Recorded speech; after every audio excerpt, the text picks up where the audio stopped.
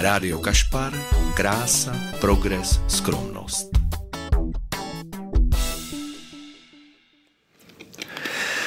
Martin Hoffman na vlnách Rádia Kašpar, vážení posluchači, dobrý den celý den. Začínáme klasicky s panem Dvořákem, slovanským tancem. Hej Slované, tančit, jedeme. Vážení posluchači, zdravím vás ještě jednou. Martin Hoffman a Marek Schleichert na vlnách Rádia Kašpar. E, zněla píseň, nebo skladba Antonína Dvořáka, která kdysi provázela něco, co se jmenovalo Křeslo pro hosta. A ty mladší si to nepamatujou. A nevím, jestli ten pořad byl vůbec jako ke koukání, ale ta píseň je dobrá. A já tady hosty mám. A mými hosty jsou dnes manželé Koneční a je to Lukáš Konečný, jeden a jedinečný, mistr světa v boxu, WBO, mistr Evropy, je to prostě bomber. Je to, hele, dneska to bude s boxerem. Ale nebude to jenom s boxerem, bude to i s jeho první dámou, Jarkou Konečnou a já vás tady oba zdravím. Nazdar. Ahoj. Čau, čau. Čau. Uh, můžete mluvit přes sebe úplně klidně, když budete Dobře. chtít. Zkuste se nepohádat. Já budu dát přednost snad. Dobře. A budeme se bavit eh, nejenom teda o boxu, ale tak o všem. No. Já jsem vás dlouho neviděl, tak vás rád vidím Mě to by taky. a mám z toho radost. Lukáši, Jarko, vy žijete v Ústí, přitom byste už dávno mohli být v Praze. Vysvětlete mi to s tím Ústím. To je takový specifický město. Eh, Co je Ústí pro vás? Proč Ústí? Proč ne Praha? Nebo Brno, kde se ty narodil Lukáši? A máš tam maminku pořád v Brně? Jo, jo, jo. Takovou rodinný zázemí je tam stále. Tak jak je to s tím Ústím? Jarka taky není z Ústí, Jarka je z Varu. My se tam... Já jsem původem z Karlových varů. Tak my jsme se tam tak nějak jako Tak to skoro lepší našli Ústí. v tom ústí. Vary jsou prý teďka dost zdechlí, se říká. Tak teďka je no, tak chybí všechno, jim, chybí jim určitě klientela. Prý jsou Vary zdechlí trošku víc. Teda. Jo, takhle, jo, máš pravdu, teď mi to, teď mi to došlo. A, a asi sakra budou. tak nemusí, tam můžou přijet i Němci asi, no. Se to musí naučit. Třeba udělají přímou linku Mnichov Vary tentokrát. Hmm. Tak bývalo to tak dřív, že, že vlastně bývali hodně Němci, že jo? Pak se to otočilo. Jak dlouho jsi byla ve Varech? No já jsem se tam narodila, takže a vlastně dokavať eh, jsem nešla do Ústí na vejšku, tak jsem byla v Karlových Varech.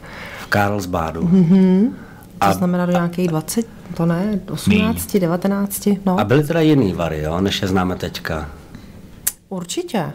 No, určitě, určitě. Stoprocentně byly jiný. Pak se to začalo hodně měnit tou klientelou a tím, jak tam eh, se přece jenom prostě stěhovali, že jo, z východu lidi a nakupovali, skupovali různé pozemky, takže tam se to pak jako hodně, hodně a myslím si, že každýho toho Karlovaráka se to nějakým způsobem dotklo. Teď je tam prej Nepříjemný. klid. No, takže na vešce, vlastně já jsem byla na vešce, to jsme se poznali s Lukášem v Ústí, ten už tam žil od svých osmi let a nějak jsme tam už zůstali. Šla jsi na peďák? Na peďák. Hmm. A na jaký obor? E, Speciální pedagogika. Dobře. A Lukáši, ty jsi vlastně, eh, kdy jsi šel z Brna? No, v osmi letech cca, protože táta šel do Ústí, tam byla základna boxu, tak si ho tam stáhli, aby boxoval za Ústí v lize a vlastně i v reprezentaci. Takže já jsem šel jako děcko s rodičema. No, už jsme tam zakořenili, dá se říct. Má podle vás Ústí nějaký specifikum pro mě, jo teda. Když tam vědu, když jedeme hrát do Činoheráku, tak to město už vizuálně má něco do sebe a to, co je kolem toho města, protože eh, je to krásný, ta příroda okolo a já se vždycky snažím si jet už u Lovosic, abych jel podél řeky a je to nádherný a to město je takový ro, takový syrový, na mě tak působí, eh, takový tvrdý. Jak Ale- působí na vás? Co má, jak, jak to máte s tím ústím? Asi podobně, za mě můžu říct, že to město jako není žádná hitparáda, to určitě ne, ale to okolí je tam krásný, příroda je tam krásná a já jsem asi bych řekl jako celkem i rád sám nebo nějaký mezi svýma lidma, takže já to město jako takový úplně nepotřebuju a ta příroda je tam prostě krásná, bydlíme v paneláku úplně na kraji, pět metrů od baráku už je les, takže jako já jsem tam spokojený, my jsme kdysi trošičku přemýšleli, jestli nepřesídli do Prahy, a já jsem jsme asi... byli i podívat vlastně na byt, jsme měli i jako vyhlídnutý. Já jsem asi rád, že jsme zůstali no, tam já jsem klidu, taky ráda. Celkem. Děti možná úplně ne. Aha. Tak děti s náma už moc dlouho asi nebudou. No. Ale, ale jako já jsem vlastně ráda asi, že tam jsme, no, že máme blízko, blíž k té přírodě asi, než bychom měli v té Praze tady. Jak jsou velký ty holky, které já znám jako malý holky, když je Lukáš bral v ringu všechny tři do náručí, nevím, jestli by je teďka unes, hmm, i když ne. vypadáš jako v shapeu, tak možná bys, možná bys to dal, kdyby Hele, neunes, neunes. Už když jsem se vracel do nějakého toho zápasu, tehdy v té o aréně, tak jsme vlastně zjistili, že potom... Zkoušeli to, zkoušeli. Potom, že po tom sportovním výkonu už to nepůjde. Já to jako na rovinu v obejváku zkoušel prostě už před zápasem, abych věděl, jestli jo nebo ne. Pak jsme se domluvili vlastně, že holky zvednou mě a zvedli mě. No, no. no holky nacvičovaly zvedání tatínka. Pecka. Hele, jak jsou velký teda? No nejstarší teď bude 18 a dvojčata měly 15 na Vánoce. Bydlíte ještě všichni jako pospolu? Jo, jo, přikoupili jsme malý byt vedle a teďka přemýšlíme, koho vyženeme ještě, no. z, nějak, z našich sousedů, jako aby, z našich aby sousedů. Jsme, aby jsme jako ne, byli ve větším. Lukáši, máš tam prostě čtyři baby v tom bytě. Hele, máme psa teď novýho.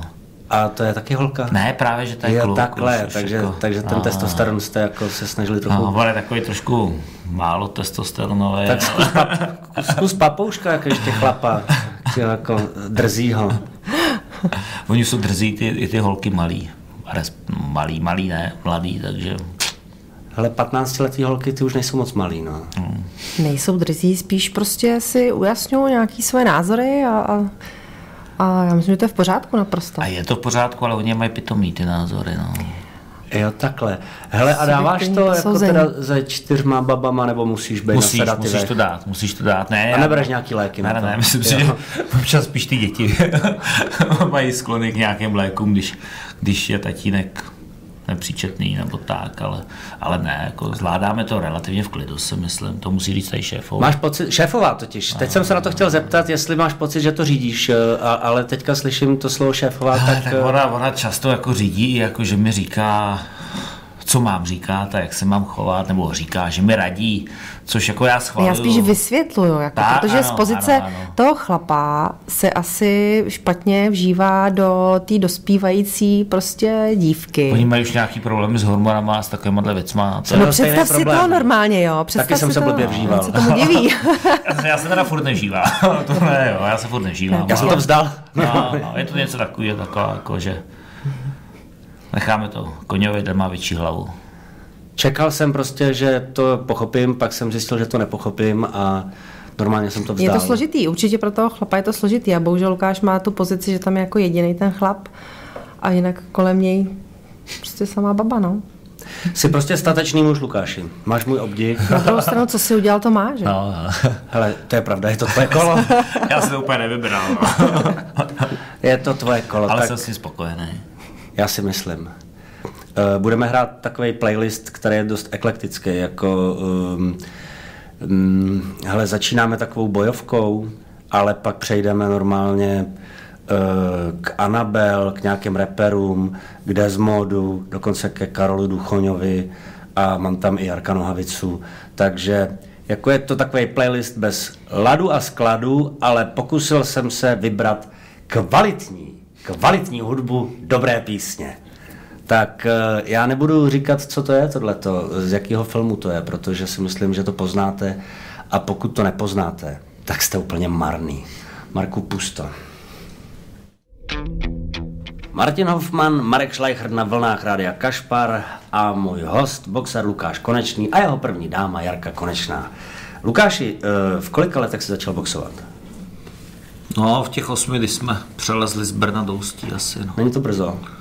Hele, já jsem u toho ještě dělal fotbal a všelijaký jiný věci, nebyl jsem do toho jako nějak tlačen, spíš jsem chtěl. Byly trochu jiný časy tehdy, chodilo se na kontakt už takhle jako uh, v dětském věku? No, jasně, jasně, Jasně, chodilo. tehdy Tak se chodilo. Tehdy, kort, kort tehdy spíš si myslím, že ty smradi, ty děcka byly jako trošku tvrdší a, Hrvavý. a tak se s tím nepárali, no. Jo. Ale ono v těch osmi letech, když z devíti, desíti, když si vezmeš ty rukavičky velký na, na ruce, tak stejně si jako děcka moc ublížit nemůžeš. Spíše to o nějaký psychice, o tom, že se občas někdo třeba rozbrečí, ale že bys někoho zranil, to asi ne. Ale to nebyl asi tvůj případ moc, ne? Že by se rozbrečel. Tak ale ne, nebyl, ale já jsem jako citlivá duše. Ono To se já vím. Ono se to nezdá, Ne, ale to já o tobě já vím. jsem se vždycky strašně bál, že až prohraju první zápas, že budu brečet u toho vyhlášení. A jako naštěstí se to stalo až dejme tomu třeba po nějakých 30 zápasech. Prohrál jsem v Německu s někým, Hele, byl jsem úplně vysmátý a vůbec mi to nevadilo. Věděl jsem, že jsem prohrál zaslouženě s někým, kdo byl o dost lepší než já. Víceméně jsem byl i spokojený se svým výkonem a sám sebe jsem překvapil, jak jsem tu prohru dokázal jako uníst. Eh, Když začne takhle kluk eh, boxovat, fakt jako v kategorii malého, je to malý kluk, eh, v osmi letech je, hele, kdy v tom případě byl, řekněme, první zápas, kdy tě prostě postavili jako někomu a řekli tak a teď jdeš a- je to na ostro. Jako ofiko, nějaký ofiko první zápas byl snad až ve 12 letech, ale protože jsem u toho ještě dělal fotbal a v začátku jsem na ty tréninky chodil jako sporadicky, No, nějak jsem to, nějak jsem to nehrotil, takže jsem měl hodně, hodně jako dlouhou přípravu na ten první duel. Ústí je město s velkou boxerskou tradicí, eh, tak to je. ne? Bejvávalo, člověče. Bejvávalo. Hmm, tak jak se to bejvávalo. změnilo? No, už je to v tahu, no. Tehdy, když, když vlastně se tam přestěhoval táta, uh, tak Ústí bylo, teď já nevím, třeba desetinásobný mistr republiky po sobě mm-hmm. uh, v lize družstev a pak ještě třeba desetkrát bylo. Teďka už je to takový, že tam ti boxeři tolik nejsou a uh, taková ta dominance třeba na mistrovství republiky, kdy, kdy, kdy plácnu z 12 váhových kategorií v 6 vyhrálo Ústí, tak už to prostě není. No. Teďka mm, to je tak, že je rádo, když má jednoho, dva mistry republiky. No. Který město vede? Hele, je to rozházený, řekl bych, eh, že to trošku přelezlo do, na Moravu, to je první věc, ty úspěchy. A druhá věc, že i Praha jako se zlepšila tehdy, tehdy před těma, pane bože, co to je, 30, 30 lety, víceméně tady ani moc boxeři nebyli a teď je, teď je to rozhodně lepší, no. Lukáši, eh, kdy, eh, kdy jsi jakoby začal vlastně boxovat co by amatér, jako nějakou ligu, nebo jak, zkus, zkus vysvětlit posluchačovi, jak to je, jo. Ty vlastně chodíš do nějakého eh, týmu, Ale to je to klasika, klasika sport, takže jste malý smrát a chodíte na nějaký, na nějaký mm, ligový zápasy, nebo to jsou, to jsou takzvané oblastní kola, kdy potkáváte někoho z nějakého okolí, okresu, kraje a podobně a tam se prostě mlátíte, když jste úspěšný, tak jdete dál. Já jsem byl třeba na mistrovství republiky nějakých těch děcek poprvé ve 14 letech. Vlastně jsem vyhrál každý, každý mistrovství republiky, kde jsem byl v těch mladých a někdy, někdy v 17 asi letech jsem, jsem už začal boxovat za chlapy, takže tam už to jako bylo trošku, trošku jako větší třeba konkurence pro mě, ale to, že se tím budu živit, nebo to, že to budu vlastně dělat celý život, to prostě přicházelo postupně. To třeba ještě v 16 bych asi jako úplně nevěděl, nebo ne, netroufl se tvrdit, že budu jenom boxovat. Já jsem vždycky chtěl být po fotrovi policajt a myslel jsem si, že i budu policajt. No. Jakou, eh, na jaký jsi byl střední? No, já jsem byl na Gimplu. OK. A pak jsem šel na výšku, taky na pajďák.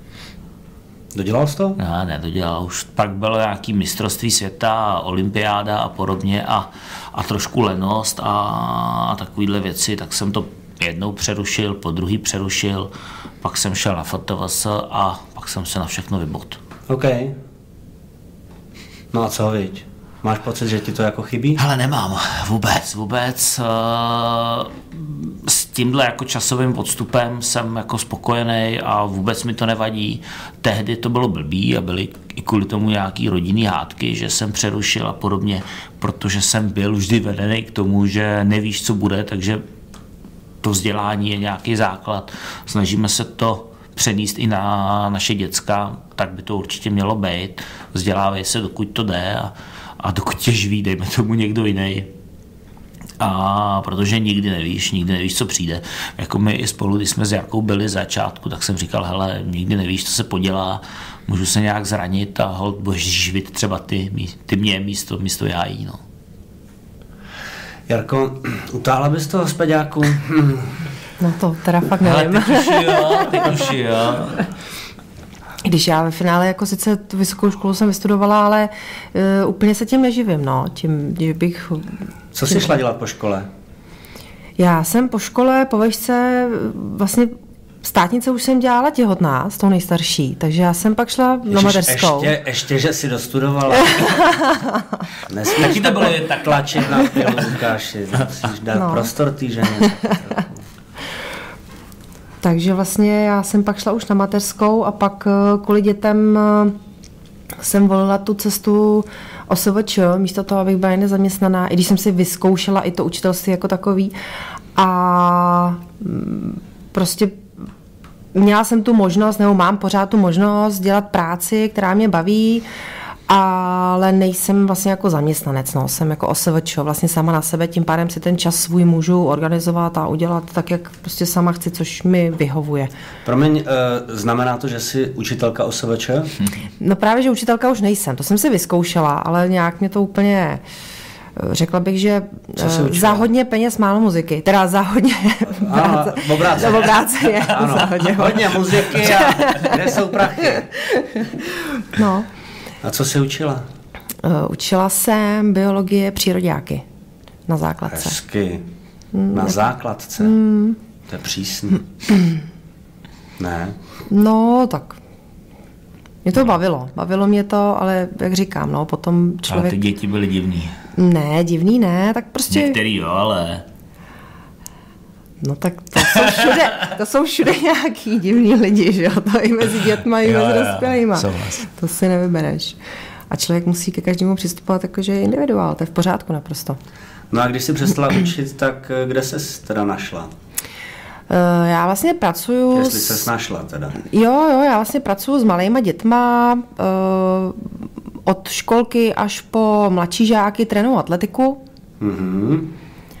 A potom eh, teda před tou šílenou dobou, která je teďko, před koronou, Jasně. jsem pracovala, jsem cvičila s, se seniorama a s mentálně postiženýma s dospělákama. Takže Jarka je vlastně jako profesionální cvičitelka.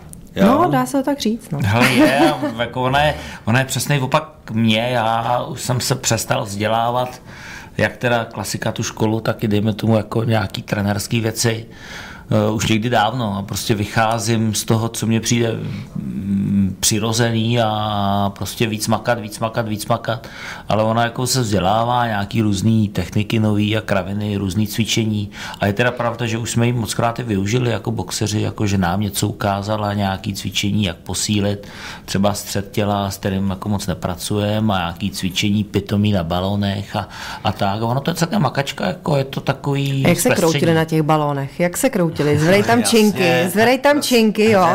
Ale pak mají hezky sedět na balónu. Já si pamatuju, jak na ten kemp přišla ta holka jako na tu hodinu jogy, no jak, jo, jak ale...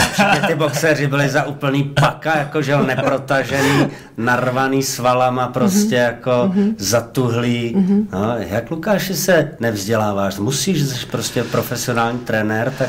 Ale já to beru podle toho, že já to nikdy nepotřeboval. No ale se... aby ti neodcestoval vlak, že jo, ty jsi byl specifický. Mm-hmm. Tak já to beru, prostě... že každý může být specifický. Ne, no, tak... ne ty jsi atyp, opravdu atyp. Ty no. jsi atyp. Pro mě jsi vždycky byl. Určitě částečně jo, ale tak...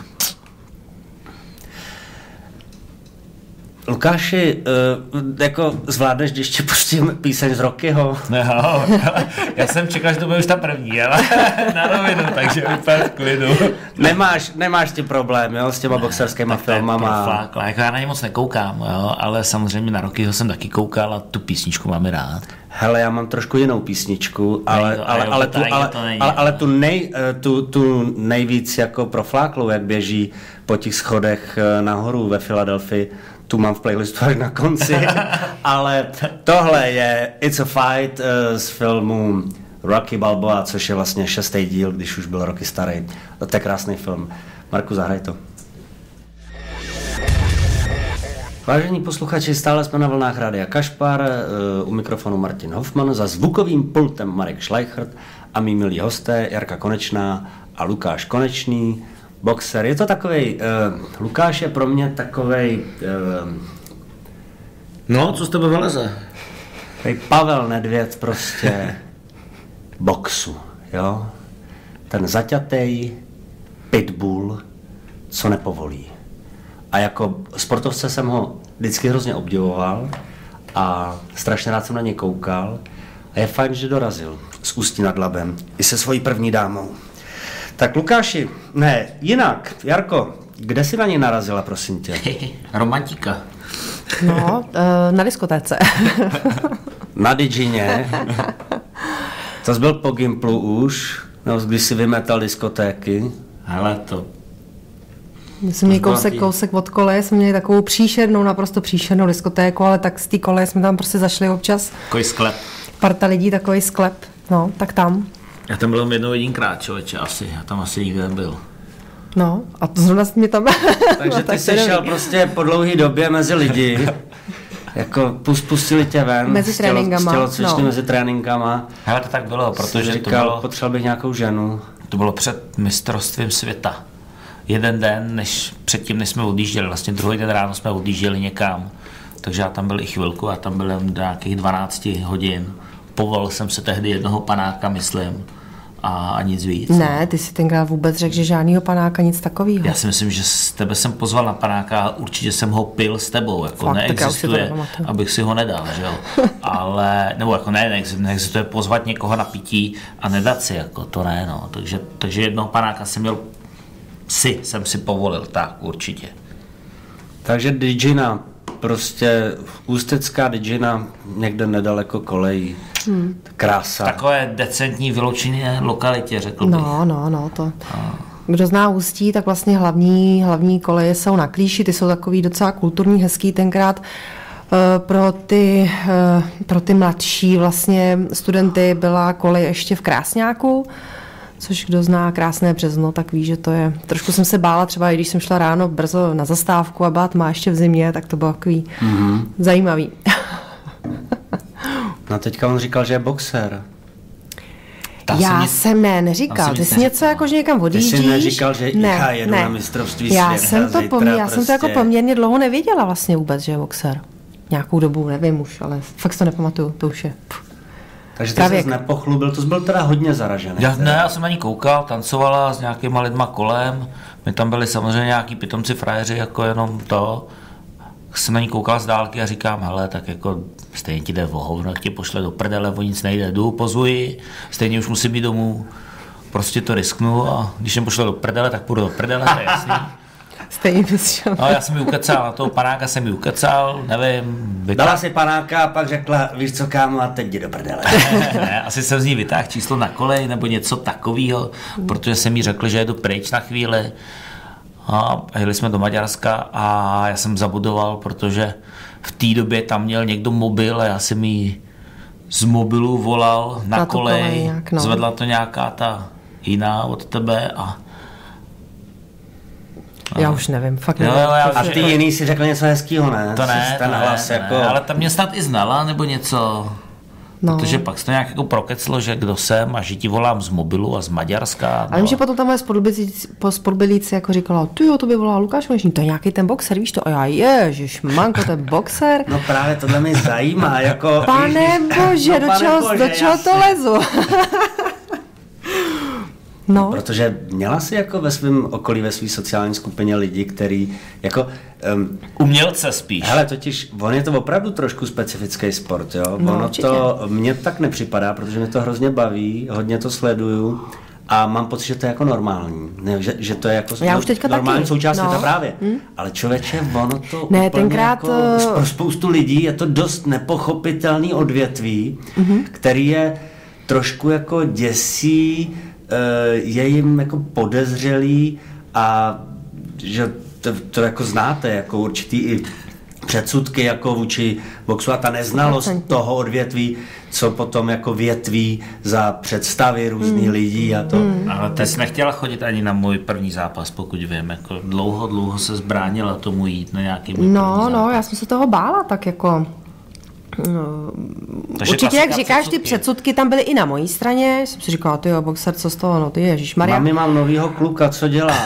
Je to boxer. Vypadni. No naši, já musím říct, že naši taky jako koukali. Živí se jo, tím, že no. mlátí ostatní No. chlapy a protože je mlátí líp než oni jeho, tak je to takový úspěšný boxer. Vlastně za poslední rok zmlátil úplně všechny. Všechny. Jinak je citlivý a něžný kluk, mami, můžu ho přijít na oběd? Ne. tak ne, takhle to určitě nebylo, ale um, No rodiče taky určitě koukali, to bylo takový, ježišmarja, opravdu. Ale nutný. je to nutný. Eh, No, tak postupem času nějakým způsobem jsme se poznávali víc a já jsem poznávala, že to není úplně tak, jak prostě ten předsudek u mě panoval. Ale myslím, že i rodiče to takhle poznávali. Pravdou je, že když jsme se brali, že my jsme se brali poměrně brzo, tak eh, dá se říct, že velká část rodiny mluvila o tom, že to jako dílek dva roky, že nám nedávají. fakt? Jsou drzí, tohle se přece neříká, ne? No tak se vyjádřili svůj názor, já jsem v pohodě. Když, když pak jako to není pravda, že jo, tak je to v pohodě. A tak oni to asi nemysleli špatně, prostě nějakým způsobem, jednak jsme byli oba poměrně dost mladí. Kolik vám bylo? Mě asi 21, ty jsi starší, to by už 22. 22, člověče. Člověče, to To jste, se neříká. to jste se fakt brali mladý, ty brďo. No, no, no. Hele, ale já už To bych vlastně, taky měl pocit, že to bude jak mléčný zub prostě. To já bude už, uh, jako než se mi zbalil, tak já jsem vlastně říkal, sakra, hledám holku na dlouhý chození. Jako to, to, to vím, to jsem to i tobě říkal. Já vím, ale to většinou říkají všichni, že ale ne, Chození tedy- není svatba, jako No. chápeš ten rozdíl mezi tím, jo? Jako chodit s někým a někoho si vzít. No jo, ale já už jsem jako tušil, že chci nějaký jako rozumný vztah, dlouhodobější a ne, ne jako třeba to mm, s těma dvouma holkama, co jsem chodil v té době, to už jsem chtěl jako nějaký jiný vztah, že jo. To jsi říkal, tohle změním. Tak, tak, s těma dvouma se rozejdu a najdu se lepší. To je skvělý, se mu to podařilo takhle. Nemusím se k tomu vyjadřovat, že? Ne, nemusíš, nemusíš, ale je to jako fér, že to takhle řekne. Prostě Tak to, ona to ví a jako tak co, no je to před 50 lety, tak už to říct můžu, že jo. to je krásný. Takže prostě si začala chodit s boxerem. No proč ne? Ježíš Maria, já si to snažím představit. Až by, když by mi dcera tohle řekla, no tak já bych... eh, tak ty víš, že boxeři jsou hodní citliví kluci, takže to je v pohodě, že Všichni jo? ne, hele. Všichni ne, ale zase ti nemám pocit, že tam ta koncentrace hovat je větší než v jiném odvětví. Prostě nemám, jo. Uh, sorry, je to nepopulární věta v českém prostředí, ale stejně ji řeknu. Daleko víc by mě vyděsilo, kdyby mi řekla, chodím s fotbalistou. Tak to bych fakt jako říkal, bože, je rozumím. to nutný. Ty vole, no to snad ne. Ne, boxera bych jako uh, zkousnul daleko líp než kopačku. Jak ty ses dostal boxu vůbec?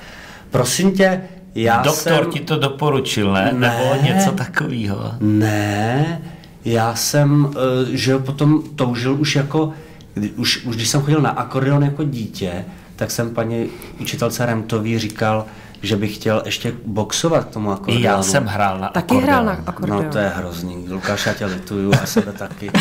Eh, to je hrozně blbej nástroj. Ale, um, no fakt jo, Maria. Já tady mám v divadle, ti to pak můžu navlíct na krk, jestli se, je- jestli se chceš dostat do nějakého traumatu. Um, já jsem vlastně říkal, že bych chtěl jako k tomu boxovat, oni si s tím moc jako nevěděli rady. E, tak po sobě pokukovali, jestli by neduplo v bedně, protože nikdo e, v naší rodině to jako e, neprovozoval, ani že bych nějak třeba s tátou jako na to koukal, protože táta zrovna měl nějak e, v tom období hodně e, věcí na starosti, takže nějak několik let nebyl doma. Takže Bůh ví, kde se to vzalo. Já si myslím, že to bylo proto, že se mi líbily rukavice. Já jsem někde Tak viděl dobrý. rukavice, to se mi hrozně líbilo. A byl jsem u nějakého kamaráda, kde tam byl, a já jsem je nosil na těch rukách a to se mi líbilo. A člověče zajímavý je, že přišel teďka k nám chlapeček, eh, šestiletý, a viděl Sašovo rukavice, rukavici mého syna, a taky je takhle nosil a celý půl dne byl v těch rukavicích.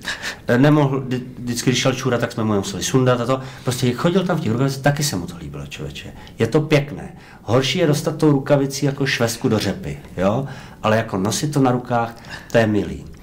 No a pak po damu, eh, já jsem měl pocit, že eh, prostě ta, ta tělocvičná ta pakárna jako v té posilovně byla taková jako nezáživná, trošku jako furt stejná a bla, bla, bla. Monotónní, To. A oni mě tam poslali nějak, že mi bolely záda prostě, tak já jsem začal nějak jako cvičit.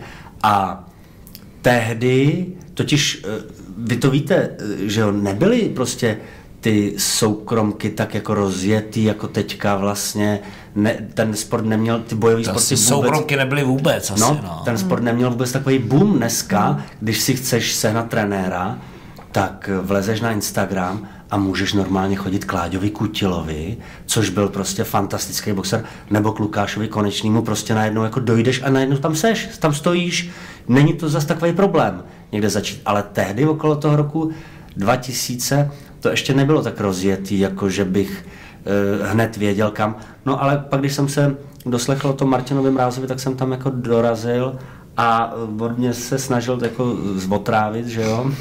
Že on taky moc ty soukromkáře tehdy nemusel, prostě ne, ne, nebylo to ještě tak zavedený. On trénoval amatéry, že jo. No takže on dělal takový to, že ten, ty první tréninky byly hrozně náročný, ty kluci byli takový jako fialový a ta úmrtnost byla tudíž taková jako samozřejmá, no a já jsem mu tam nějak jako zůstal, já jsem nějak jako vydržel, no, protože mě to jako fakt uh, připadalo fantastický. Jako šerm se mi strašně líbil, mm. když jsem poprvé jako... To je krásný sport, no. No. Šerm pěstí, box. No, a ten box má něco podobného, mm. má něco archetypálního v sobě a e, kdo si na to nešáhne, tak mám pocit, že trošku e, neví o svých rezervách jako chlap a o, svých rezervách jako osobnostních vůbec, jo? protože e, ty můžeš mít pocit, že jsi celkem jako ostrý kluk a jako, že m, můžeš mít ze sebe různý skvělý pocity. A člověče, pak když seš tři minuty pod tlakem, a, a začneš se lámat psychicky a začne ti docházet dech a fíza a víš, že to e, kolo nekončí, tak si můžeš vybrat buď to si kleknout a ono to přestane, anebo se to snaží nějak ustát a přežít. Jo? A myslím si, že tam se nějak jako poměrně e, neodbitně člověk sám ze sebou definuje. Ten box je hodně o té psychice. Je, takže- je strašně, no. strašně prostě, jako, a to jsem právě vždycky obdivoval na tobě, že ses jako nikdy zjevně nelámal a spíš si Tak tam je to důležité nedat to na sobě na- znát. znát, znát. To, že se člověk láme, to tam prostě je. Já vím, ale... že jsi mi pak říkal, tam jsem byl nahulený prostě v Mm. tomhle kole, jako tam jsem to cítil, ale vlastně paradoxně pak jsem si uvědomil, že si jako spíš přidával, než ubíral, jo, když Tak to je, ano. Když cítím ten tlak, tak o to více zapřu. No. No a to, to se vlastně podle mě jako nedá naučit. To podle mě prostě musíš mít nějak v sobě a proto e, seš pro mě určitý atyp. Hele, ty jsi nebyl, já, já si nepamatuju, že bys byl počítaný. Byl jsi v profi... Nebyl, eh, nebyl, nebyl. No nebyl, ale to není úplně jako normální. Jako, myslím si, že procento boxerů, který neseděli na prdeli, eh, teď máš přes 50 zápasů v profiringu, to znamená, ten profiring to už přece není selanka jako debilů, že jo? Jako lidí, který se tak jako vochomejtli okolo tělocvičny. To už jako tam, tam čelíš někomu, kdo je fakt jako trénovaný, nějaký má, jako kdo, kdo je nějak prověřený, to, No nebyl si počítaný. Ale to... jo, tohle je zrovna jedna ze statistik, eh, která mě jako těší, protože no, sakra. to byl, nebo no, to je nějaký takový úspěch. No. no to je úlet, prostě je to, je to zajímavý. Jsi prostě bomber. Hele, ještě, ještě, ještě, ještě vám, ještě vám uh, pustím poslední takovou jako ringovku, ale pak půjdu do normální hudby už, jo. Marku, Fort Minor, remember the name, pojďme. Martin Hoffman na vlnách Rádia Kašpar, mým hostem je bomber, boxer Lukáš Konečný a jeho žena Jarka Konečná. E, povídáme si, hmm, no tak mluvili jsme o ústí, jasně, to je třeba, a o nějakých boxerských začátcích. Lukáši, e, jaký je ten přechod z amatérů do profi? E, totiž já mám pocit, že ten rozdíl ať už kvalitativní, nebo co týče podmínek, jako že, že, že vůbec jako si posluchači neumějí představit, nebo že to je takový jakoby abstraktní, že jsou amatéři, tak mají helmy a nátělníky a profíci se slíknou do půl těla, což je prý taky jsem slyšel zajímavý moment, když tě poprvé sundají z toho nátělníku a z té helmy, když seš jako víc, já vím, pro tebe nebyl, pro tebe, já, já už vidím podle tvého výrazu, že Bylo by to úplně šumák, už úplně šumák, ne, tak v tom dokumentu o Kličkovi je, Uh, nevím, jestli jste viděli, to je celkem dobře natočený ten dokument o těch uh, bratrech uh, Kličko 1, Kličko 2. Neviděli jste to? Ne, Neviděli. nevím. Já jako celkově koukám málo na tyhle věci, protože celý život se tělocvičně, celý život se s někým látíš, tak pak jako nemáš úplně potřebu po večerech koukat ještě na něco podobného, víš. A tak kouknem, když nějaký zajímavý zápas, tak to jo. To jo, jasně, to jo. jasně. Ale tohle jsme třeba neviděli teda vůbec hned dobrý ten dokument, protože je tam ten zajímavý moment, kdy ta kariéra toho vládi šla úplně do kopru. Kdy vlastně to vypadalo, že je na uh, Pápa Lala, jo. Kdy vlastně jako fakt musel něco změnit a ty tam mluví ten mm, bývalý trenér Lenoxe Luise, že řešil i e, barvu bota po nožech, jo?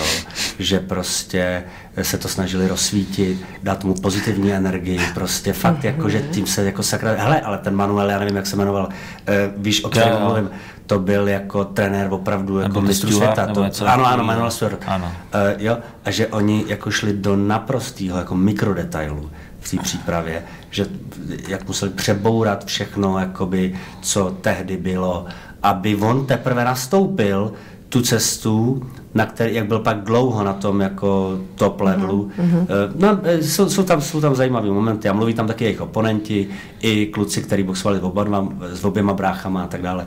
To je jedno, ale to, to vás tím nechci zatěžovat. Mm, amatérské a profi ring.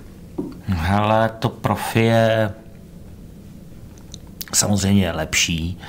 Je to taková vyšší liga, ale je to i velký show a zároveň už se tam musí pracovat právě na spoustě detailů a je to trošku i divadlo, dá se říct. Záleží pak na tom, jak ti jednotliví sportovci vystupují, jestli dělají frajery, což je kolikrát jako plus a tak dále. Takže už to není jenom, jenom o tom sportu, což ten amatérský box je, jenom o tom sportu, ale už je to i víc o nějaký té hlavě a o tom, o tom okolí. No. Lukáši, kolik ti bylo, když jsi šel do profi?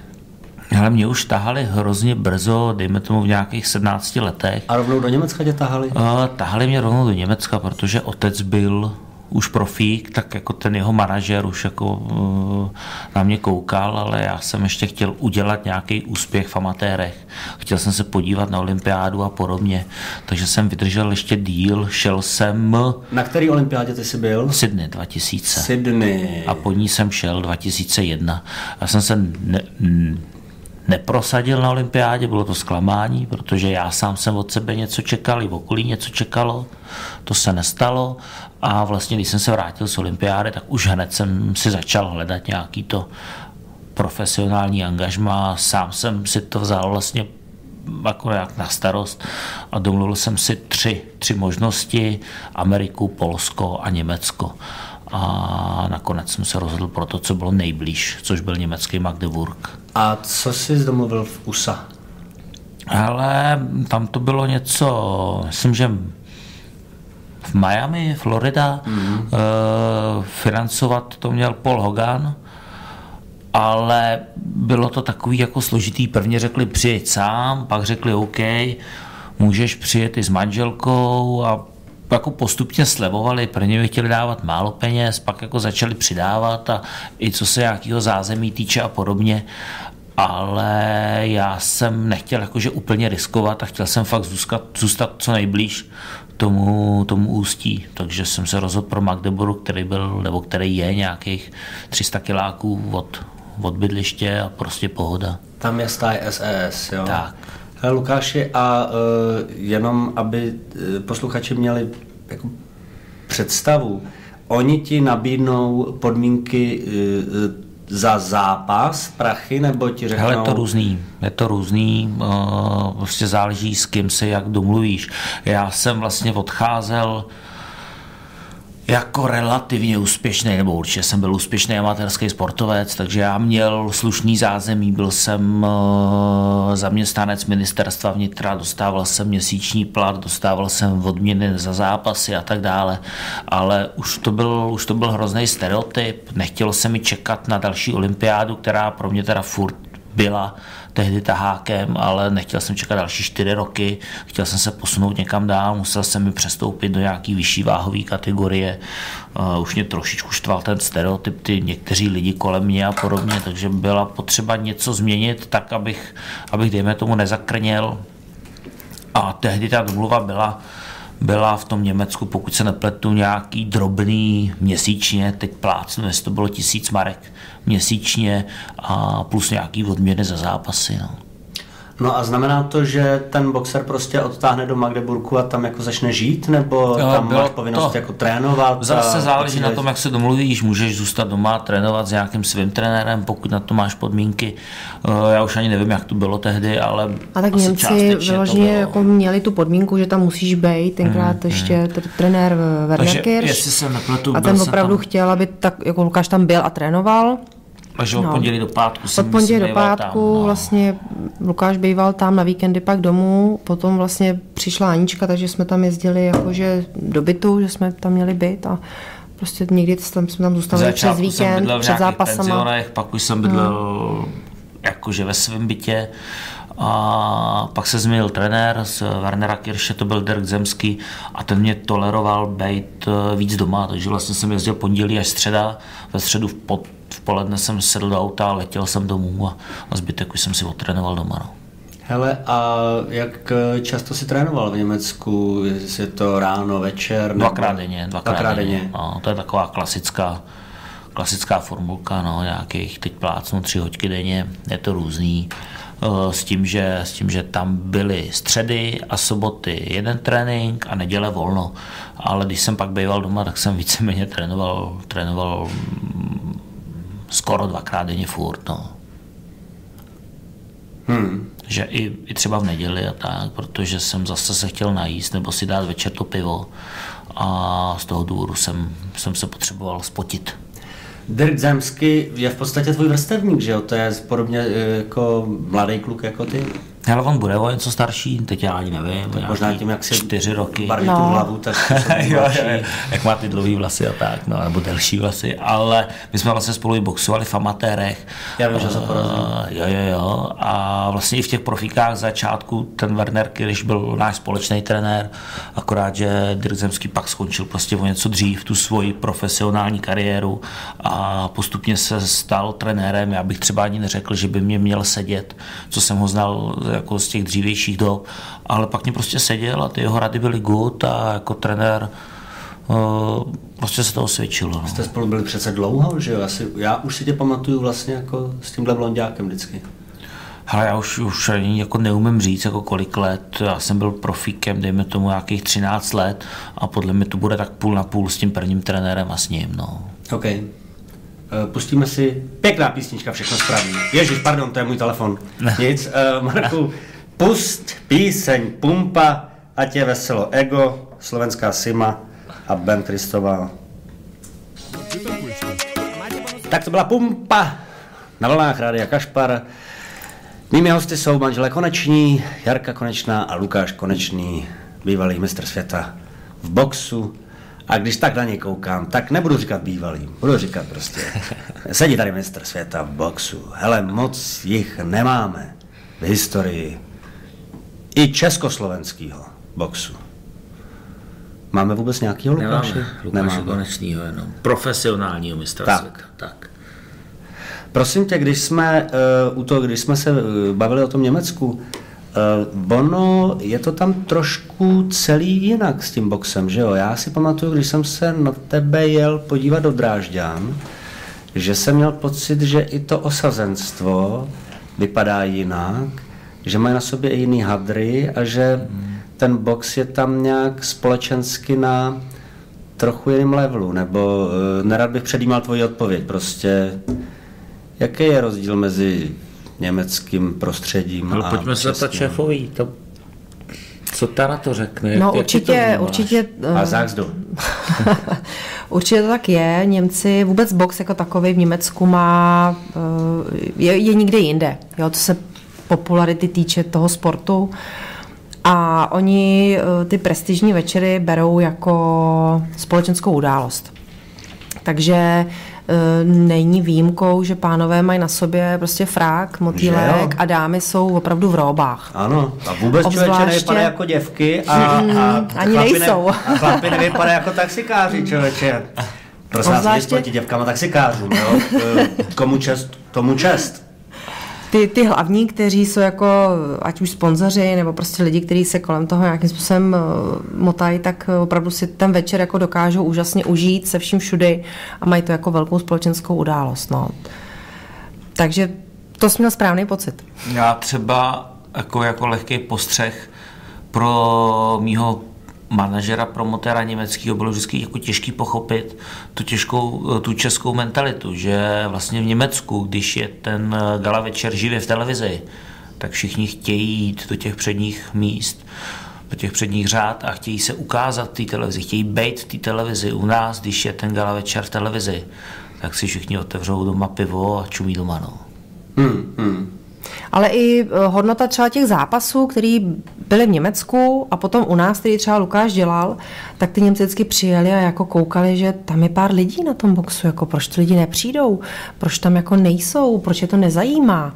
Jo, a oni určitě, kdyby přibližně to stejný bylo v Německu, tak by to bylo prostě úplně jiná, úplně jiná, úplně jiný level, level mm, jo. Plná hala, prostě, jak říkáš, nebo jo, Mediální zájem mediální zájem. Tam vlastně i Promiňte, to volá mamka. Mami, já jsem v rádiu, já tě pak zavolám, jo? Ahoj. Máš hezký vyzvání na maminku hlídací pes, jo. Dobře, tak já jsem myslel, že to je vyplý, omlouvám se. Nic se neděje. No, takže tak, no. No, máte pocit, že tam je tak obrovský boom eh, toho MMA taky, nebo že tam si vlastně pořád drží ten box to svoje?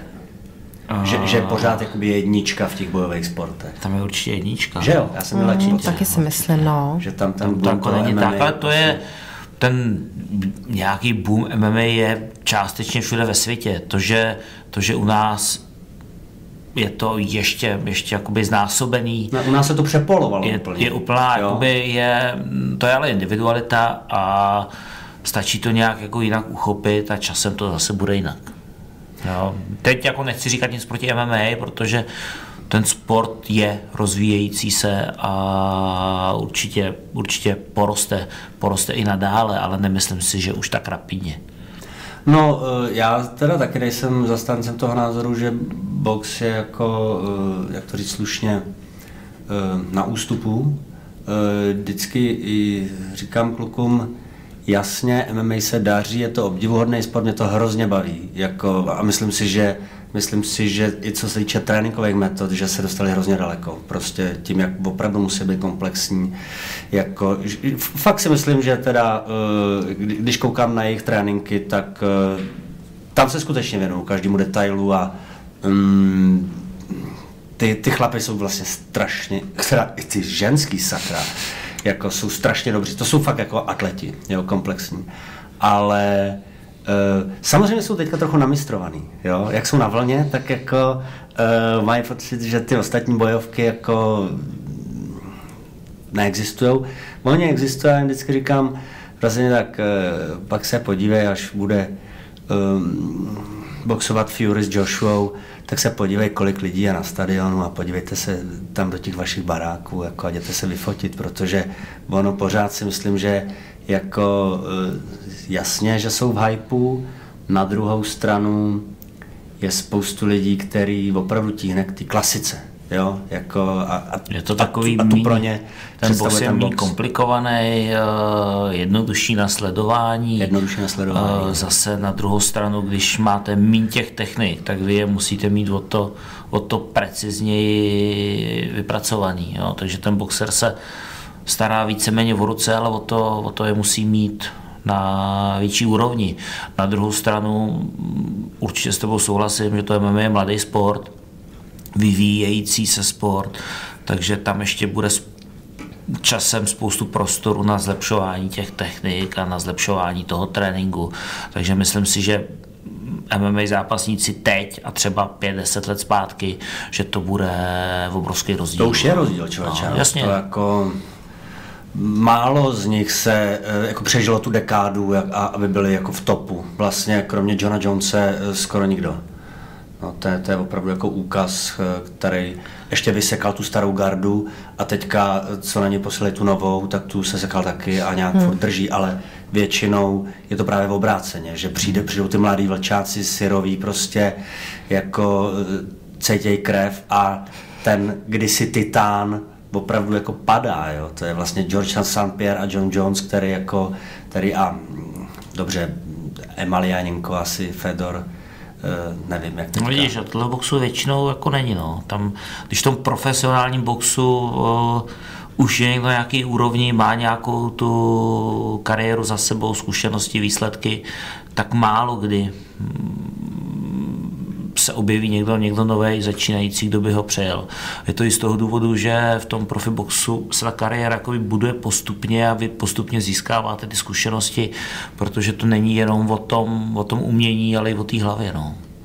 Jo, je to vidět na Floydovi prostě, kterýho já opravdu nemusím, eh, podle mě je to kokot, ale tu hlavu má opravdu nastavenou fantasticky, prostě on si strašně věří, strašně věří svojí obraně, svýmu pohybu a jako boxer je vlastně eh, jako fenomenální a dokázal ustát i ten zápas těm Majdanou, kde podle mě tahal, teda, kde, kde měl pár těžkých momentů mm. a bylo vidět v tom rejmači, jak se fantasticky připravil, prostě dal do pořádku a najednou ten Majdana už nebyl tak přesvědčivý. Prostě Floyd je hustý, jako kdyby mu nějak přepolovali hlavu prostě nebo něco mu udělali s tou šiškou, tak by mohl být jako jeden z nejpozoruhodnějších sportovců jako posledních dekád, ale tím, že tam má bramboračku, tak se o něm budeme vždycky nebo a všichni bavit. Ale já ho nemám rád asi teda podobně jako ty, ale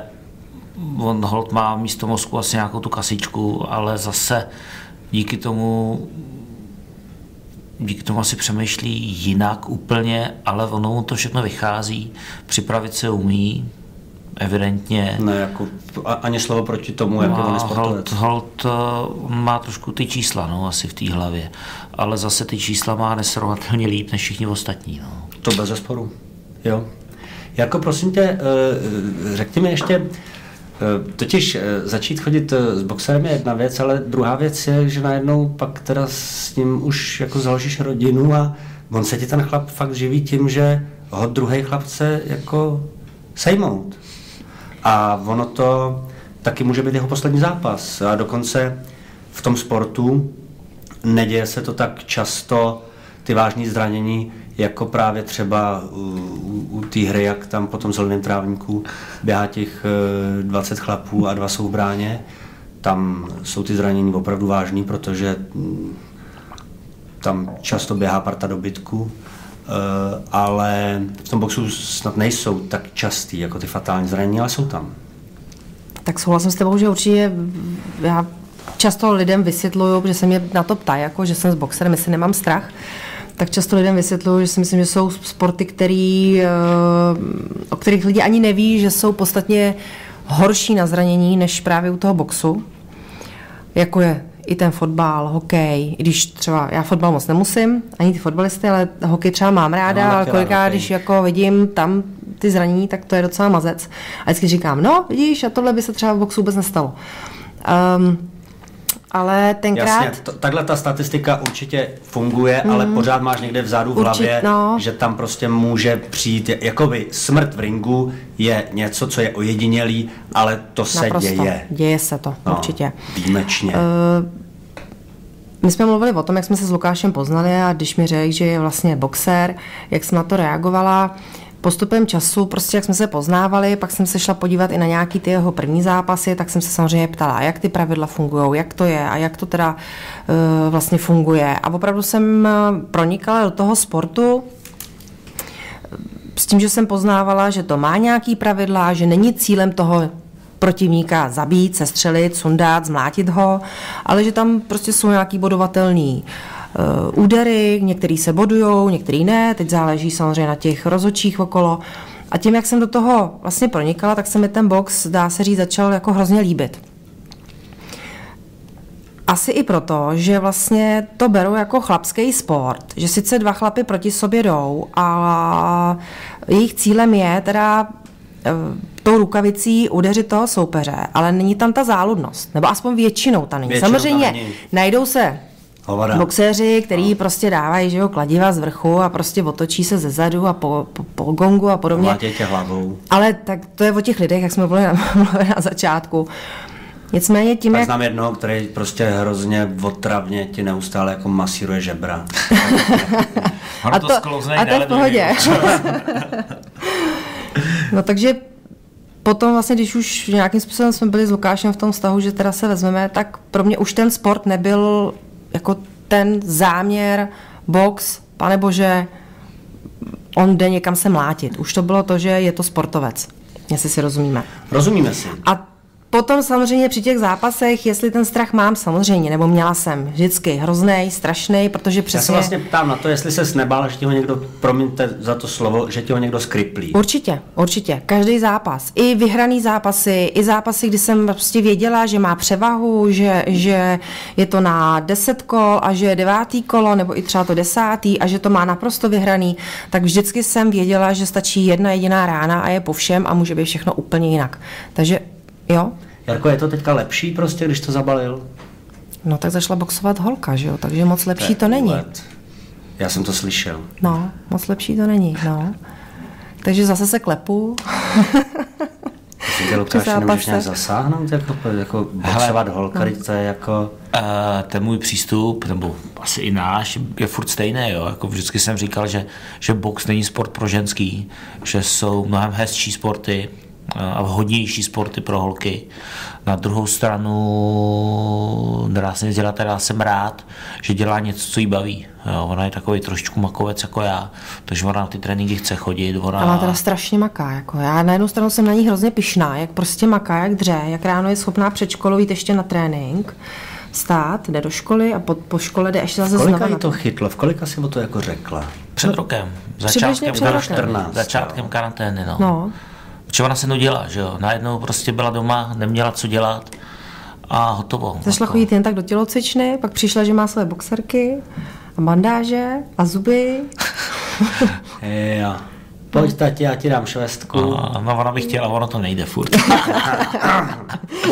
Ale je hezký vidět, jak se cuká, jak by chtěla prostě a, a ten fotr. To možná s tou pubertou, eh, jako, eh, jak, jak bude postupovat, eh, tak možná bude mít to nasazení Hele, čím to dál tím to- větší to, do to, tebe. ono má jako. to nasazení, že jo, ale nemá, furt nemá ty zkušenosti a furt nemá tu váhu toho chlapa, jako mě, že jsem teď, já nevím, o 30 kg těžší, že jo, takže my si spolu zaboxujeme, ale prostě ona je trošku zoufalá, no, že se nemůže pořádně trefit, no.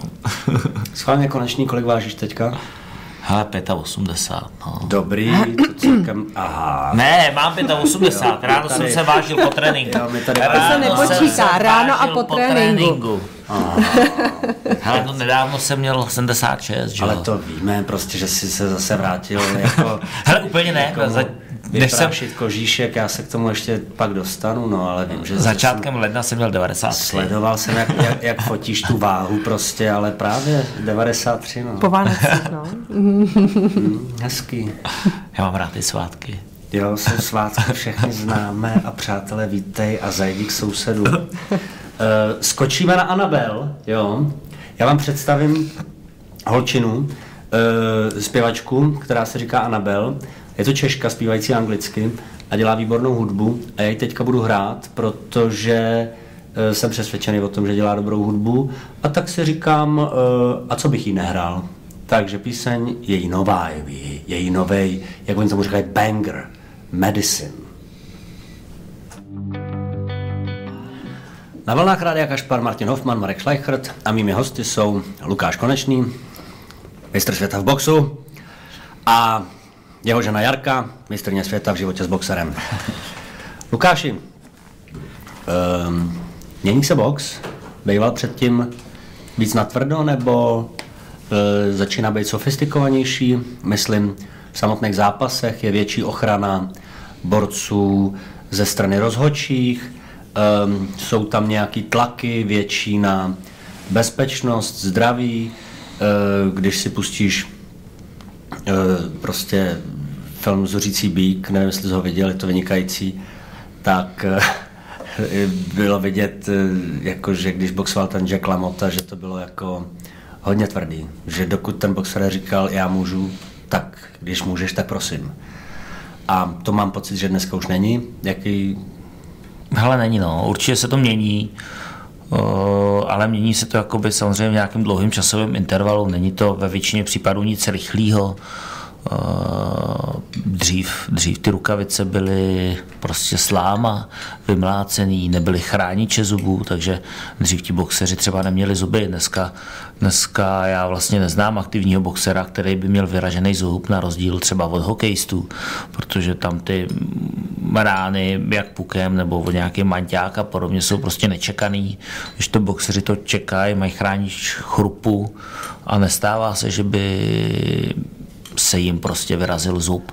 Ale určitě se to mění, určitě jsou nějaký mm, změny, například dřív se boxovalo i na 15 kol, nebo ještě předtím se vlastně boxovalo úplně, dokud někdo stál, tak se boxovalo, pak bylo omezení 15 kol, dneska je nejvíc eh, právě 12 kol, protože jakmile už ten sportovec byl unavený, tak se zetávali, byla větší pravděpodobnost nějakých vážnějších zranění, takže to stáhli o ty tři kola ale jako za tu moji kariéru já ty změny příliš, příliš nevnímám. Vlastně si nedokážu jako vzpomenout na něco, co by, co by takhle viditelně ten sport eh, nebo ty pravidla v tom sportu ovlivnila. Eh, možná, možná jako častěji lítá, lítá do ringu ručník nebo častěji ringový rozhodčí ten duel ukončí pro nějakou, nějakou nadvládu jednoho nebo druhého. To asi ano.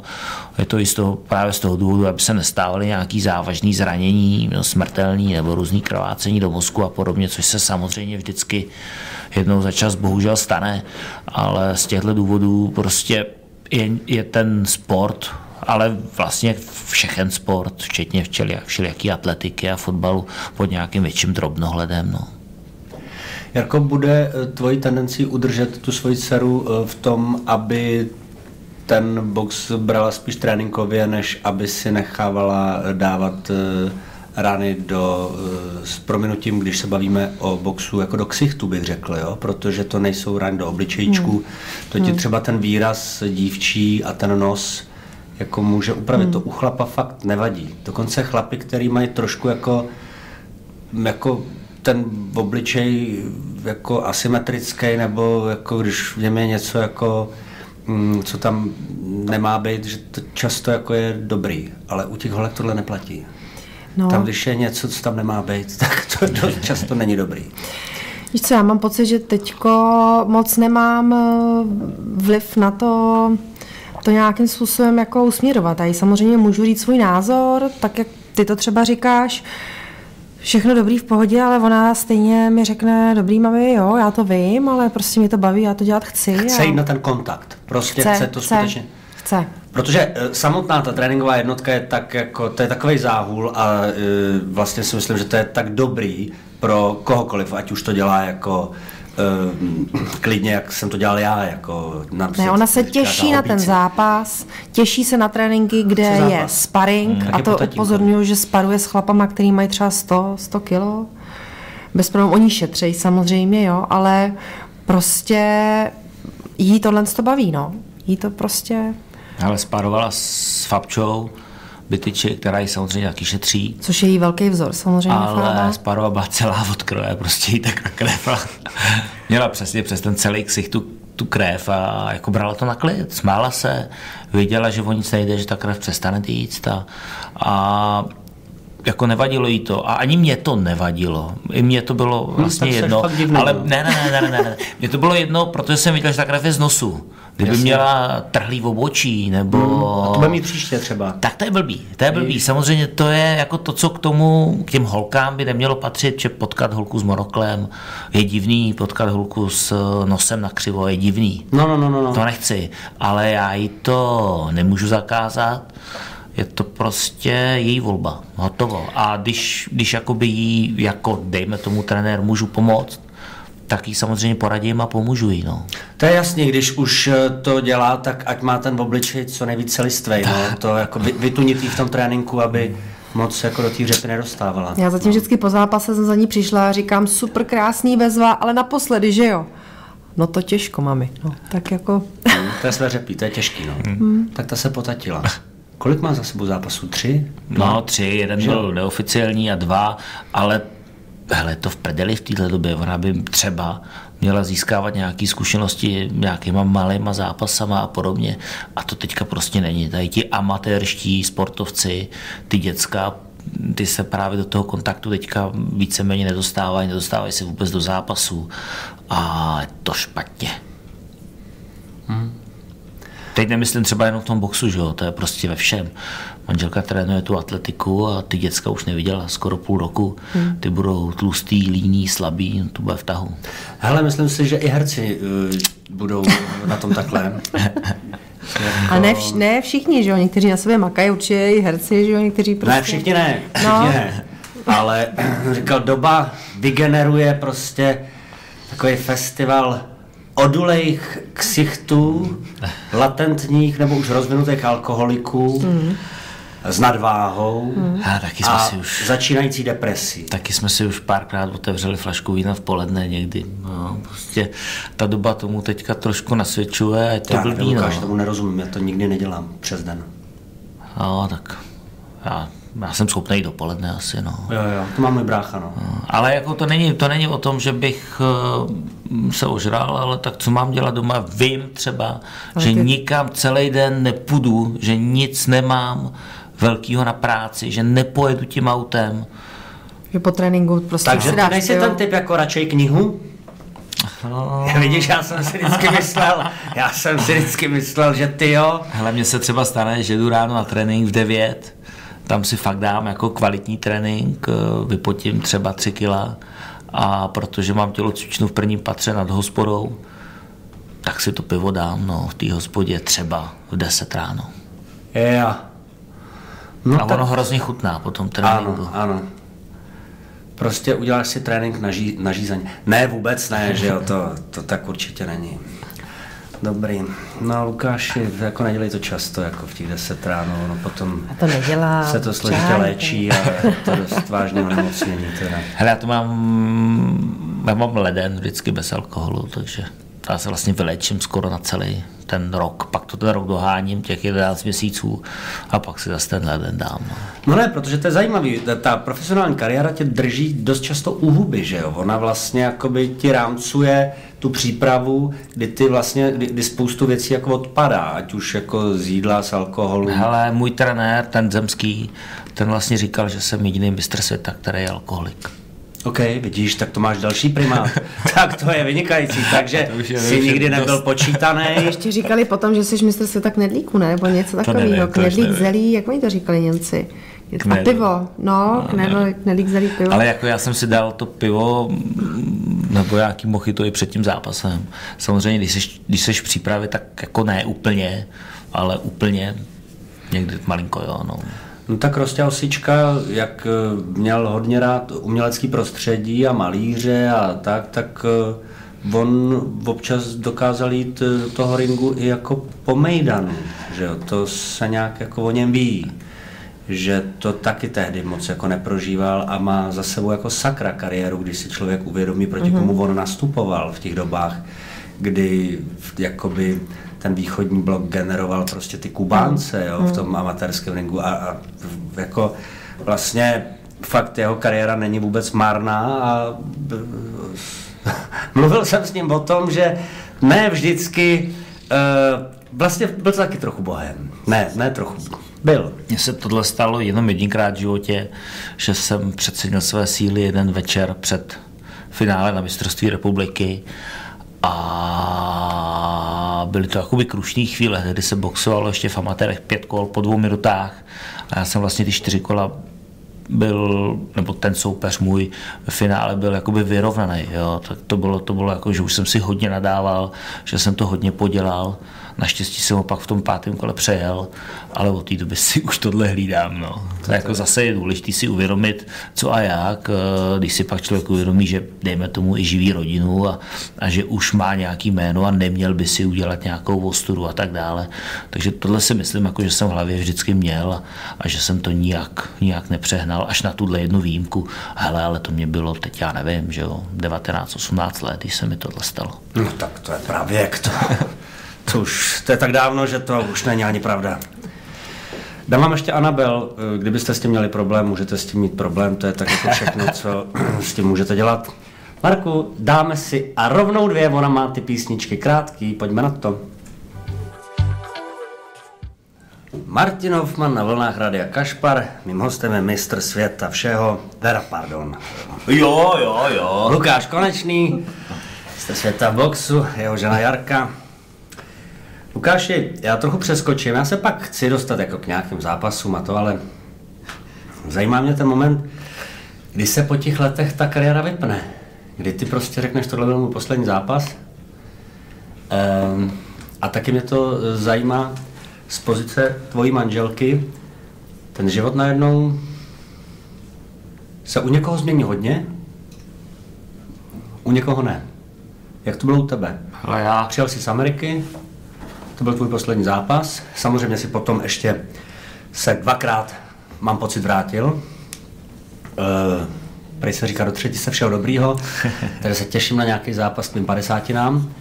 Ale mm, jaký to bylo, jak jsi to prožíval? Byla to pohoda pro tebe? Hele, jako těžko říct. Protože, uh, promiň, já, já, já tě nechci jakoby mm, navádět na nějakou odpověď, abys teďka jako... No já sám přemýšlím o ty protože, odpovědi. protože po, pro mě jsi takový střelec, jo. Pro, jakoby, že se z, ze spoustu věcí, které se jako řeší, tak ty se jako neposereš, jo. E, spoustu věcí, které jakoby mm, můžou rozkolísat e, spoustu lidí jako vnitřně, tak e, jakou já s tebou mám zkušenost, že se z toho tak jako, že to tak jako neřešíš, a, ale možná se mýlím prostě. Tak uh, rozhodně se tak snažím vystupovat na venek, ale ve finále to tak nějak jako podobně bude, jo, ale mm, já se celou, celou svoji kariéru aktivní vlastně jako snažil, snažil připravovat i třeba psychicky na to, že z ničeho nic může být šmitec. Jo? Takže už když jsem boxoval, tak jsem začínal různě podnikat a, a vymýšlet něco, co bude, co bude po kariéře.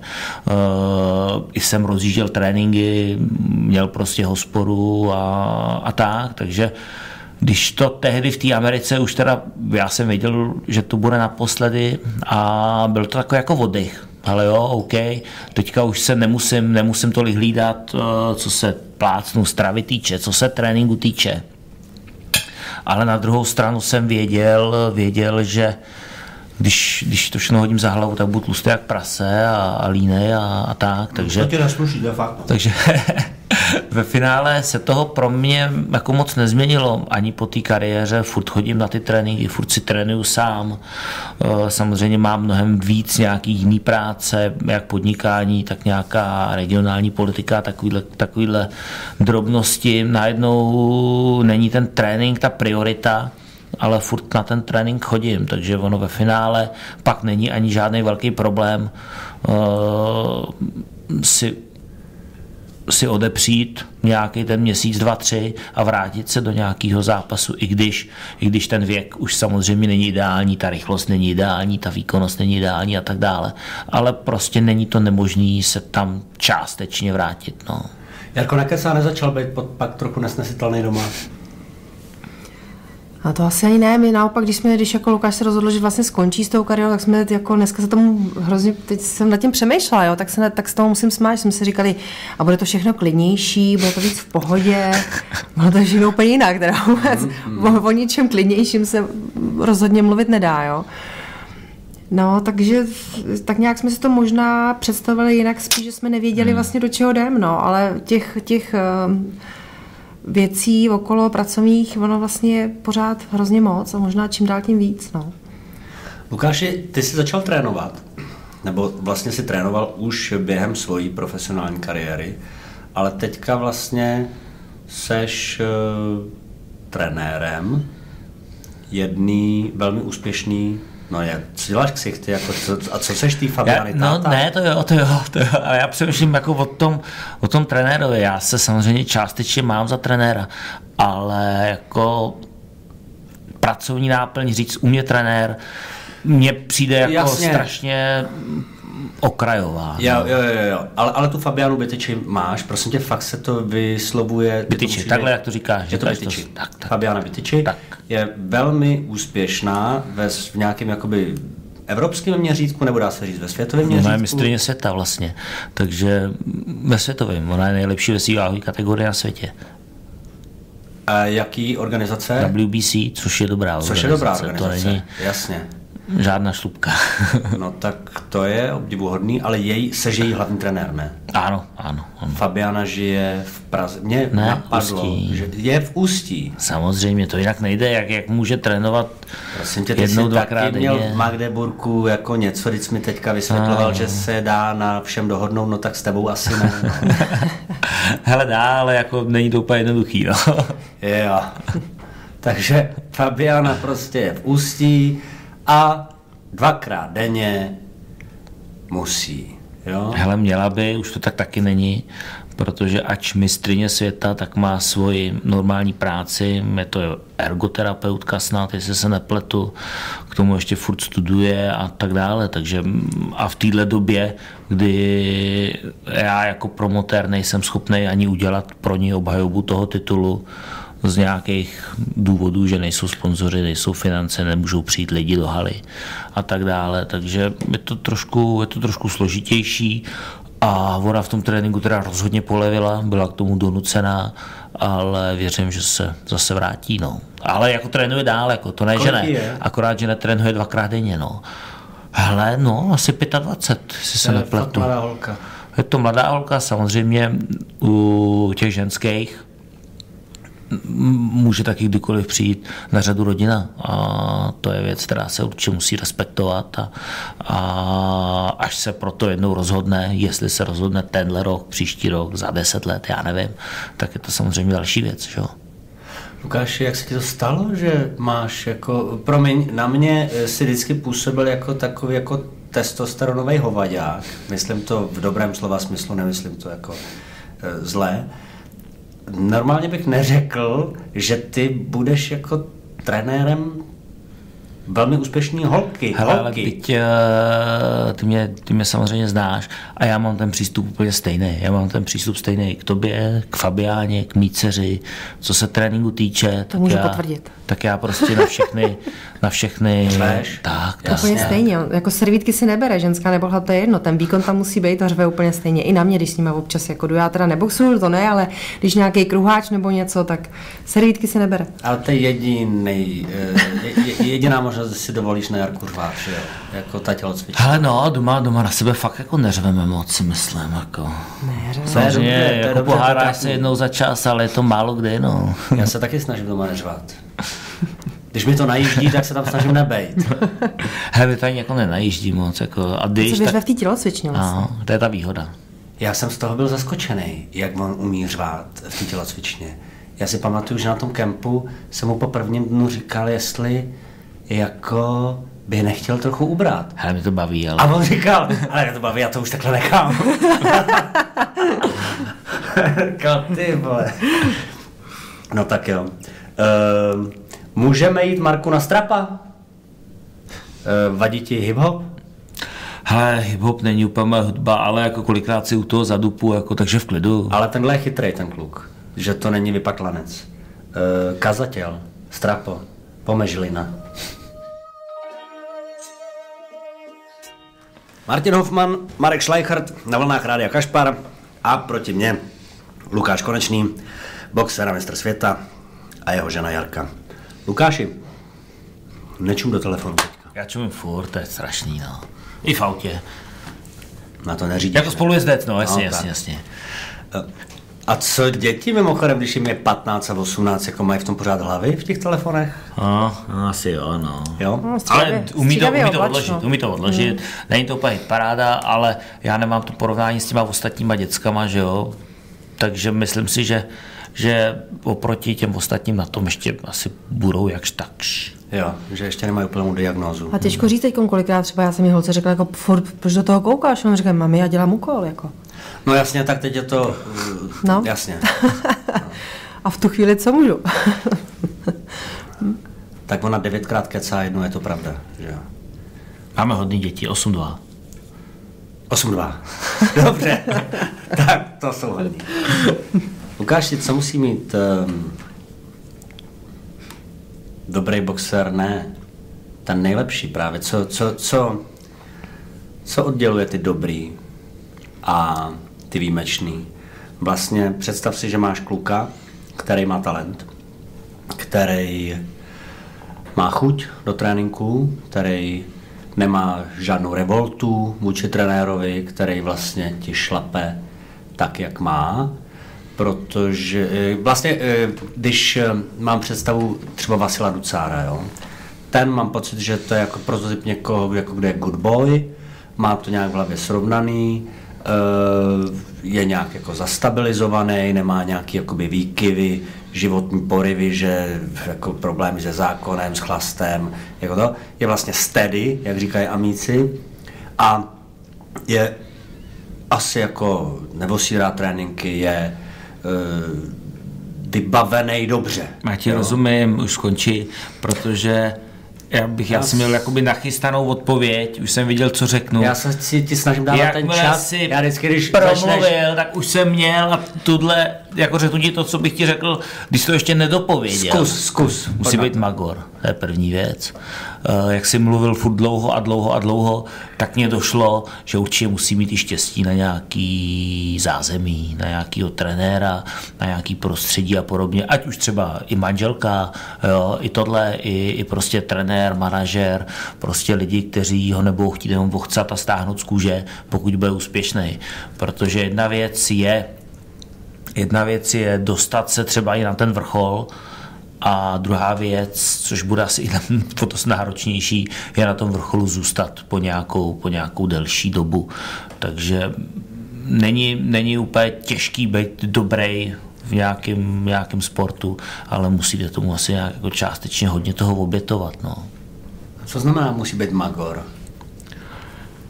Hele, tak jako já třeba, nebo mluvil si i o talentu, ale není úplně potřeba. Je dobrý talent, ale zase moc ho škodí, protože myslím si, že, že ti talentovaní sportovci to umí, no, mají sklony si toho nevážit. Prostě mě to jde, ten box, ten fotbal a, a tak teďka zajdu s kámošima do hospody a teď půjdu tamhle si zahrát automaty a, nebo si tady něco čuchnu. Kdo byl za poslední leta velký talent? Ale největší talent z mýho pohledu, kterýho já jsem poznal a o kterém se to všeobecně ví, tak to byl Tibor Rafael.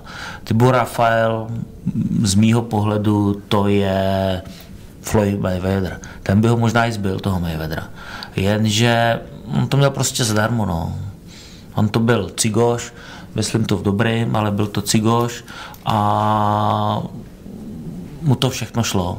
Hmm. Bohužel to nedal, nedal eh, především psychicky právě, protože mu to šlo.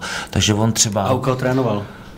On byl v Ústí samozřejmě. Já. Byl teda z Komárna, Slovák, ale pak už, pak už byl, byl v Ústí. Kolik mu je Kukovi? No třeba? už je tuhej člověče. Byl to bezdomovec ke konci, ke konci a našli ho mrtvý, jestli se v popelnici.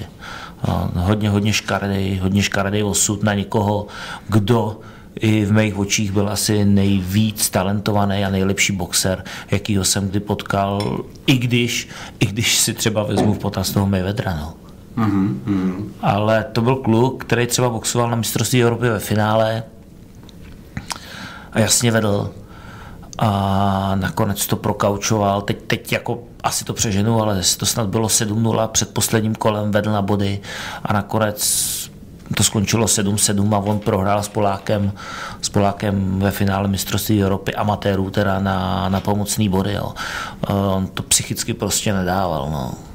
To je jak dlouho třeba, tahle ta příhoda? Hele, ten, já jsem vlastně na začátku své amatérské kariéry, on už byl, on už byl potom jakoby za Zenitem, tak uh, já jsem s ním třeba i boxoval, jsem ho asi dvakrát, třikrát porazil, ale takže to může být, tahle příhoda může být stará třeba 25 let, hmm, hmm. něco takového. Ale když já jsem byl jako, moje výhoda jako sportovce byla, že jsem kvůli mýmu fotrovi vlastně trénoval s těma chlapama. I když mě bylo 14-15, tak já jsem s nima boxoval. A tady ten Rafael, Tibor, ten mě mlátil na tréninku, ale to bylo takový to zkušený mlácení, kdy kolo trvalo tři minuty a on mě nějak vodil, plácnul dvě minuty 50 Eh, mě vodil a v posledních deseti sekundách mě jakoby něžně sundal na břicho, jo? že mi mhm. neublížil, mm-hmm. že mě jako blbečkovi, nevím, 15 letýmu prostě ten sport nějak neznechutil a já jako postupně tady, když jsem boxoval s těma zkušenýma klukama tréninkově, tak pro mě bylo postupně úspěch nejít na zem. Pak, pak pro mě byl úspěch ho trefit jednou za kolo, pak ho trefit víckrát jo, a takovýhle věci, že to byly, byly to prostě postupní kroky. No. Uh, nechci se o tom bavit dlouho, ale řekni mi uh, jenom svůj názor na toho Vasila Ducára. Hele, výborný boxer, jak ty říkáš, rozumný kluk, uh, já s ním budu s chodou okolností dneska mluvit ještě po našem rozhovoru. Že ho zdravím vyřídím to a budu se mu trošku snažit i promluvit do duše, protože myslím si, že ta jeho boxerská kariéra ještě může být mnohem, mnohem lepší. No. Já mám takový pocit, že jsem mu pár let zpátky, rok, dva říkal, ať se vykašle na všechny ty ostatní sporty, a dělá jenom box. Teďka si myslím, že to dělá. Ano, dělá. A budu mu ale ještě mluvit o něčem dalším a podobným a myslím si, že když, když eh, se tím bude řídit, teď neříkám, že, že mám pravdu, ale je to můj názor, takže by to mohl dotáhnout ještě mnohem dál v tom, v tom boxu. No. No, já mu budu držet hrozně palce, protože to je opravdu sympatický kluk a taky, taky si myslím, že je jako... A to je, to je přesně ten kluk, který mu asi, když bych řekl, udělej to a to na tom tréninku, tak to udělá, nebo šídí se, i když já půjdu za roh, hmm. i když eh, ho nebudu sledovat, tak on to prostě udělá, protože si asi uvědomuje, že to dělá pro sebe, no, což je důležitý. Nemá tam tu braň boračku. Tak, souhlas. Píseň už to nemá význam. Kali. Marku, jsi ready? Švihni to tam, já musím dojít ty špagety. Raz, dva, raz, dva. Martin Hoffman na vlnách Rádia Kašpar s hosty Jarkou Konečnou a boxerem Lukášem Konečným. To jsou manželé, prosím vás, by vám to nedoteklo, jo? Eh, já jsem se ptal Lukáše, co musí mít výjimečný boxer. Jarko, mm, zeptám se tě, co by si poradil co si poradila jako holkám, co musí mít, co musí mít žena výjimečného boxéra. Jako, a neříkej prostě prášky, jo. Ne, ne, nebo jako permanentně otevřenou flašku, to neříkej, jako zkus um, něco hlubšího. něco hlubšího. E, určitě hodně trpělivosti. Jo, takhle. Nevím, jestli to je úplně hluboký pro tebe. Ne, to bezvadný. Ne, bych na tebe nekladl, to nemusí být hluboký, jako to... Ale představ si chlapa, představ si chlapa, který prostě přijde úplně jako vyřízený z tréninku, je hladový, žíznivý. To mě zajímá pak ty hladovky, ty to Ale nemůže se pořádně najíst mm. ani, ani jako napít. No. A vlastně se tam jako šourá po tom bytě nějakým způsobem a hledá, co by, kam by si zalez. Takže si zaleze někam. Dobře, tak něco dietního k jídlu ta žena jako udělá, bojí se, jestli mu to bude chutnat nebo nebude, jestli to bude dostatečně dietní nebo nebude. A pak vstane na další trénink, ze kterého přijde ještě víc vyřízený, než byl po tom prvním tréninku. No a zase prostě jako, ale je hladový a chtěl by si něco dát, ale jako nemůže, protože prostě dělá tu váhu. No a takhle vlastně před tím zápasem... Promiň, já bych byl několik- nesnesitelný.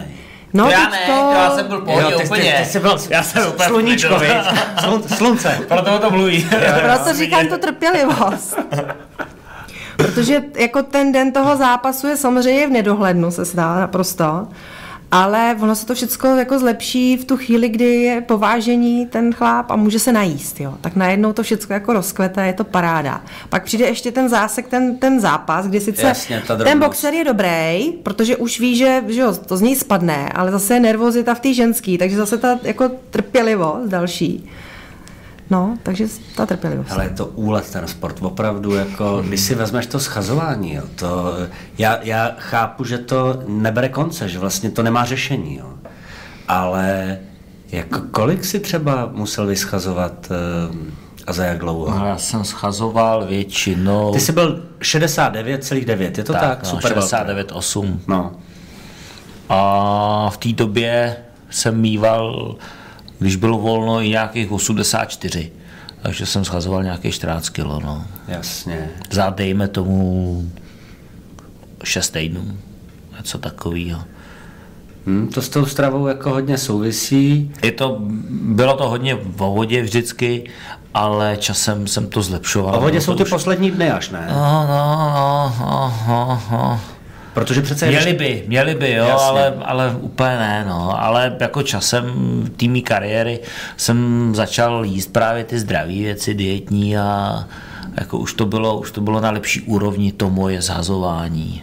Ale prosím tě, eh, zkus, eh, já si myslím, že posluchači nemůžou mít o tom představu, nebo mnozí, když ty potřebuješ šlapat do tréninku, aby si, eh, vlast, směřuje to k nějakému zápasu, ty prostě jako šlapeš do tréninku, dobrý, a zároveň utahuješ ty zdroje, jo, to jídlo, eh, tělo dostává jako čím dál tím větší kardio, prostě jako běháš, já nevím, přes hodinu, prostě do toho trénuješ a čím dál tím míň jíš a přesto by si, to je vlastně jako protimluv toho, dostávám se do formy, jo? Ty se máš dostávat do formy a přitom to tělo začíná být ždímaný, prostě příjmy jdou dolů, výkon jde nahoru. Jak můžeš zůstat silnej? Ale jo, no, zůstaneš, pokud jíš to, co máš, no. Pokud Správně, jíš to a správně. regeneruješ. Tak, tak, takže jako pro mě, já jsem dvakrát denně trénoval, ale plácnu, chodil jsem chrápat třeba po obědě, jo. měl jsem takový jako větší klídeček, než po té aktivní kariéře. E, tehdy jsem prostě zamakal plácnu čtyři hodky denně a jinak jsem relativně se, relativně se flákal, no, ale A to tělo neslábne, když nežereš? Hele, pokud právě žereš jako správně, málo, zdravě, nesolíš a dietní věci a žádný smažený a takovýhle, tak no. A ještě jako ono se o tom lehce mluví a pak je průser v tom, když to máš nastavený v té hlavě jako já, že to žrádlo je vlastně skoro, skoro to všechno na světě, jo.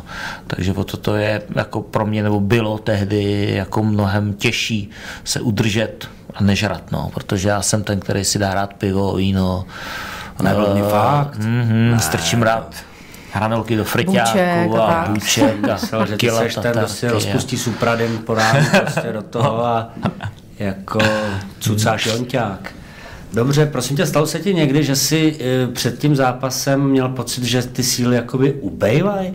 Že sice váha jde dolů, jako říkáš si, ty vole, jsem prostě nějaký slabý. Hele, to tak, to tak bylo vždycky uh, v těch tom v posledních, nevím, týden, 14 dní před tím zápasem, vy vlastně pak lezete do zápasu, pokud boxujete o titul, boxujete 12x3 a mně se třeba stávalo, že po čtvrtém kole na tréninku už, už ty síly prostě nejsou, uh, už se cítíte unavený, ale tím, že se pak vážíš těch 24 hodin před zápasem, tak to relativně dopiješ a dojíš. No. Jo. Ale nesmíš to zase, zase úplně přehánět, což se mi jednou taky stalo, že pak jsem od prvního kola vlastně hulil na spodek, protože jsem se Spápnul trošku přežral víc. jsem se Jo, jo. víc, než, než jsem měl. No. I jsme zažili v Německu jednou, že se boxer pozvracel v, li- v ringu. Tak jsme řekli, jak to nebyl vyloženě já. nezvlád váhu asi. To si nebyl ty. ne, to nebylo tak. Naštěstí. Ale on to pak i odboxoval, prohrál snad jenom na body, jo, ale prostě v půlce kola se vybil přímo v ringu. Prostě si pápnul, no, Vytřel měl, to. měl hladí. Vytřeli to a jelo se dál. no. Nestačil natrávit. Mhm. Stane se. Prosím tě, Lukáši, mm, vybavuješ si zápas, kdy to prostě šlo, celá ta příprava jako blbě, blbě. Eh, Vlastně, za, za, hele, mě zaujalo v několika příbězích to, že jsem se dozvěděl, že ten borec šel třeba do ringu, já jsem vůbec říkal, to není možný, jako eh, mám tři dny antibiotika. Jsou to keci nebo fakt prostě oni už, aby se nerušil ten zápas, mm-hmm. tak oni fakt jako ho nějak naspídujou. On by v podstatě měl být jako, mm, je nemocnej, a oni jdou, prostě jsem bral antibiotika, jako je mi blbě, nebo ty holky, jak říkají, jsem měla obrovský ženský pro- problémy, vlastně jako celou noc jsem nespala, říká, a ono se to hezky nasvítí a teďka ten dotyčnej tak jako jde, že jo, tou uličkou k tomu jako ringu a vypadá to dobře. A znám pár příběhů, kdy tam šli úplně jako vyndaný lidi. Jako, což není na první pohled vidět. On, I ten adrenalin tě jako narovná a ten stres, ale stalo se ti někdy, že jsi tam prostě šel vyndaný? Ale jo, Z nějakých důvodů, ze zdravotní? Asi ne jako úplně vyndaný, to ne, ale moc krát. Jo. Jak v amatérech, tak pak i třeba v těch profíkách. Určitě jsem chodil, že jsem měl nějaký ty vitaminové koktejly, protože jsem měl třeba plácnu lehkou teplotu, e, protože jsem měl třeba zlomený nos, tak jsem šel do zápasu bez, bez nějakého sparingu a, a takovýhle detaily, jo. Rozhodně, nebo nemyslím si, že jsem šel s antibiotikama, to asi ne. Ani s těma ženskýma problémy snad ne. To si dobře pamatuju, tak ne. ne. Ale ty antibiotika jsem třeba určitě měl, teď plácnu pondělí, úterý, středa nějaký ty rychlý a zápas byl v sobotu. Sobotu. To jo, ale nebylo to úplně tak strašný, jenže ty se do toho sportovce musíš eh, pak jakoby ještě vžít trošku jinak, že mně se to stalo víckrát, že zápas na poslední chvíli byl třeba zrušený. A já už jsem pak dostával prachy, vydělával jenom z těch zápasů. Hmm. Ty zápasy jsem měl tři do roka a stalo se mi třeba, že poprvé to zrušil soupeř, po druhý jsem to zrušil já, takže jsem víceméně rok neviděl žádný lové. A když se pak něco kazí před tím dalším zápasem, tak už na to asi úplně nekoukáš. A Jasně, dů- už a musíš jít taky tak práce prostě, prostě. musíš vydělat nějakou korunu. No. Takže chápu to, určitě je to v prdeli, když někdo leze do nějakého sportovního výkonu s antibiotikama, ale jako asi proto mám pochopení. No. V tomhle je ten individuální sport opravdu tvrdý, protože v tom týmovém sportu, když to nejde, tak Se si to prostě trošku můžeš schová, no, no. on, on to někdo prostě skočí. Líp nebo hůř, ale skočí. No. Asi je to i o tom, že nějaký dva, tři měsíce se na to připravuješ, makáš, že jo, člověk do toho dá nějaký, nějakou energii a pak hold přijde nějaká vyrozka, tak eh, ne úplně každý to chce jako vzdát, no.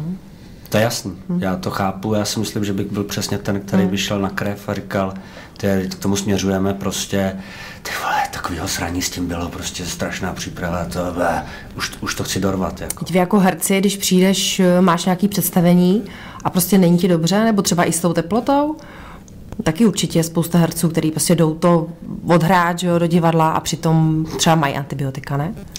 A ono no. to je taky sportovní výkon. Jo, to tak taky svým vezmeš. způsobem prostě to je dřina. eh, občas eh, teda herci hrajou jako v hrozným stavu.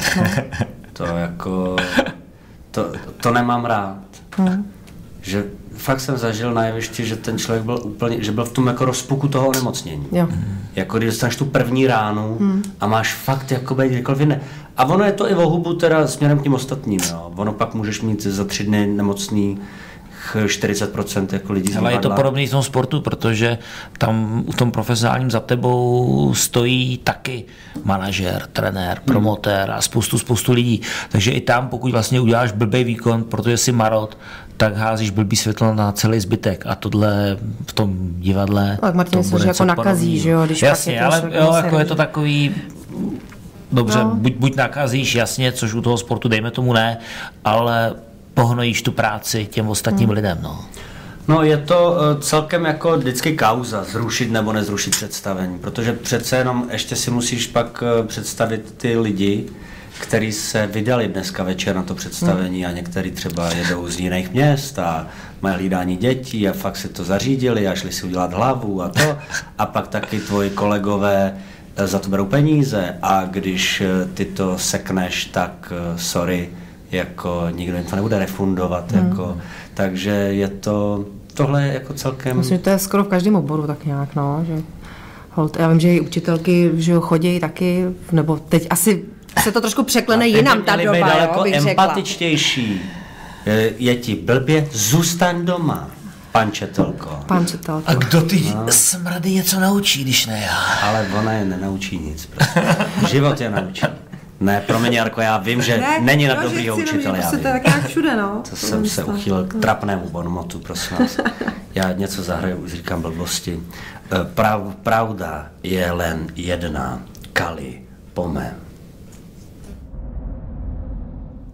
Martin Hoffman na vlnách Rádia Kašpar, mým hostem je stále Lukáš Konečný, boxer a jeho manželka Jarka Konečná. Lukáši, jak je na tom momentálně český box? Parapapa, žádná hitparáda, ale ono se to může, může jakoby rychle otočit. Je to sport většinou o nějakých individualitách, takže my ty boxery máme. Máme je i šikovný a hol jde o to, to nějak uchopit, trošku, trošku štěstíčko, trošku, aby se něco zadařilo a, a může být hnedka veselější. Jsou naděje?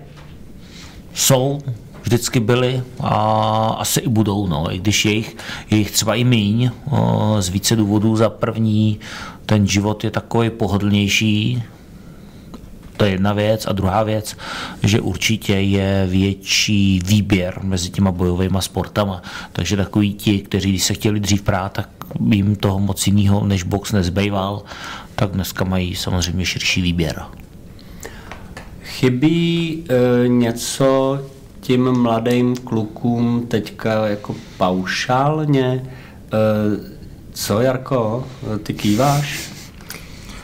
Ale to jsou diskuze, které vedeme, vedeme doma často, protože máme ty holky, které si ty kluky budou jako asi vybírat, že jo, nějak do budoucna a, mít s někým žít, takže to si myslím, že může, může šéfova spustit No, nějakou. já bych jako řekla spíš na tu otázku, Martinovo, že celkově mi přijde eh, ta mládež, kterou, se kterou taky pracuju, tak mi přijde, že v sobě nemají takový ten morál do toho sportu se zakousnout a makat a dřít a nedej bože udělat ještě něco navíc. Nevím, jak třeba, myslím si, že i v tom boxu to je takový, Lukáš chvíli dělal eh, kondičního trenéra i vlastně amatérskému boxu a vlastně se jim zdálo, že, že makají moc, že to, co po nich chce, je hrozně moc, že tolik, tolik toho po nich jako chtít nemůže. Jo, tak... Tak, eh, přetrénovaný, rozumíš? No, A to bylo po konci mý profesionální kariéry, kdy já už v úzovkách nebyl výkonnostní sportovec a abych jim ukázal, abych jim ukázal, že opravdu mají rezervy, tak jsem prostě šel běhat a byl jsem nejrychlejší, nebo jsem na běžky vzal, vzal manželku a nejrychlejší jsem byl já, a druhá byla manželka a pak byla celá reprezentace teprve. Takže myslím si, že ty rezervy tam fakt byly. No. Mně se taky stane na stadionu, že prostě přijde tatínek a ptá se mě, jestli opravdu je rozumný těm desetiletým dětem, aby běhali dvě kolečka na stadionu, což je 800 metrů jako v kuse. Tak to pak, jako, jo, nějak je to trošku Malej prostě... nožičky z no potom. právě, potom ty děti jsou hrozně unavený, tak uvidíme, jak to půjde dál takhle s tím sportem, no. Helejte, eh, když eh, jete, říkali jste, že občas se na nějaký box podíváte, jo? A Koukáte občas na MMA? A moc ne, já se přiznám, že úplně se mi jako nelíbí MMA. Dobrý. Já se samozřejmě občas, eh, občas podívám na nějaký ty větší zápasy a podobně, no, ale uh, rozhodně to nevyhledávám, ale když už třeba sedím u televizi a dávají to, tak se, tak se podívám. Něco jiného je uh, mediálně profláklý v mé vémol a na to se podívám snad skoro vždycky. No. Ale, ale nejsem ten, který to musí vidět živě, já si to pustím klidně až druhý den. Nemáš to, že teď a tady, jo? A tady u tohohle ne, no. u těch velkých boxerských zápasů, jo, jo to je jasný. Stává. Hmm. To já si pamatuju, jak jsem stával na toho Pakvája s tím Mayweatherem. Bylo fakt jako, já nevím, kolik bylo, asi 4 hodiny ráno nebo 5 ráno. A nedopadlo to. To mě mrzelo. Jo, jo, jo. A tam to bylo taky jako hodně takový vyrovnaný. Bylo, bylo to vyrovnané. No tak ještě nepadl, ale teďka třeba ještě něco vezme. Lukáši, eh, co ty návraty? Ty jsi udělal dva eh, v O2 aréně v rámci večera vlastně spíš eh, MMA zápasů se to tam přebouchalo pak na ring. Podle mě si udělal super zápas. Můj kolega Filip Blaže, který tam byl Hm, který má taky blízko k bojovým sportům, říkal, že to byl nejlepší zápas toho večera. To mě těší, dík. A jaký to je, nebo co se ti stane v hlavě, prostě je furt ten oheň nějak v tom člověku, že prostě ale jo, si říká, korník, ale chybí mi to, trénink dobrý, sparring dobrý, ale nějak jako... Ten zápas je jiný, no, to je, je prostě to, jako trénovat můžeš od rána do večera, ale pak když vlezeš před ty lidi, tak je to prostě takový, jako že se ti vhádí ty slzy do očí právě, když, když je tam nějaká ta dobrá atmosféra, je tam narváno, už je jedno, jestli je narváno 10 tisíc nebo jestli je narváno 200 lidí, to už je fuk, ale pokud je ten, plný prost, ten prostor plný a je tam dobrá atmosféra, tak je to prostě příjemný, no. A už je relativně i jedno, jestli ty lidi fandějí tobě nebo tomu soupeři, ale prostě ti to vyhecuje a a je to něco, mm, v čem, v čem jsem jakoby žil hrozně dlouho, že jo? takže pro mě tady ta Auto Arena tehdy byla jakoby hodně příjemný návrat. Že jo, no.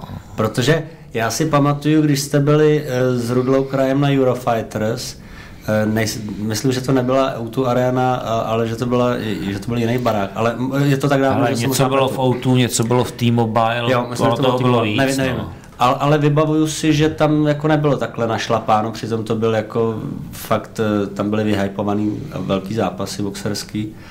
A tak Auto Arena byla dobrá. No. Jo, byla dobrá, ale zároveň jsem si uvědomoval, že tam spoustu lidí není kvůli mě, ale kvůli rytmusovi třeba. Jo. Ale bylo mi to fuk v té době. Prostě atmosféra byla dobrá a a vy se pak stejně jako snažíte soustředit na ten svůj výkon v tom ringu, to je jedna věc, ale druhá věc, eh, to okolí stejně vnímáte a většinou, nebo mělo by vám pomoct k nějakému lepšímu výkonu. No.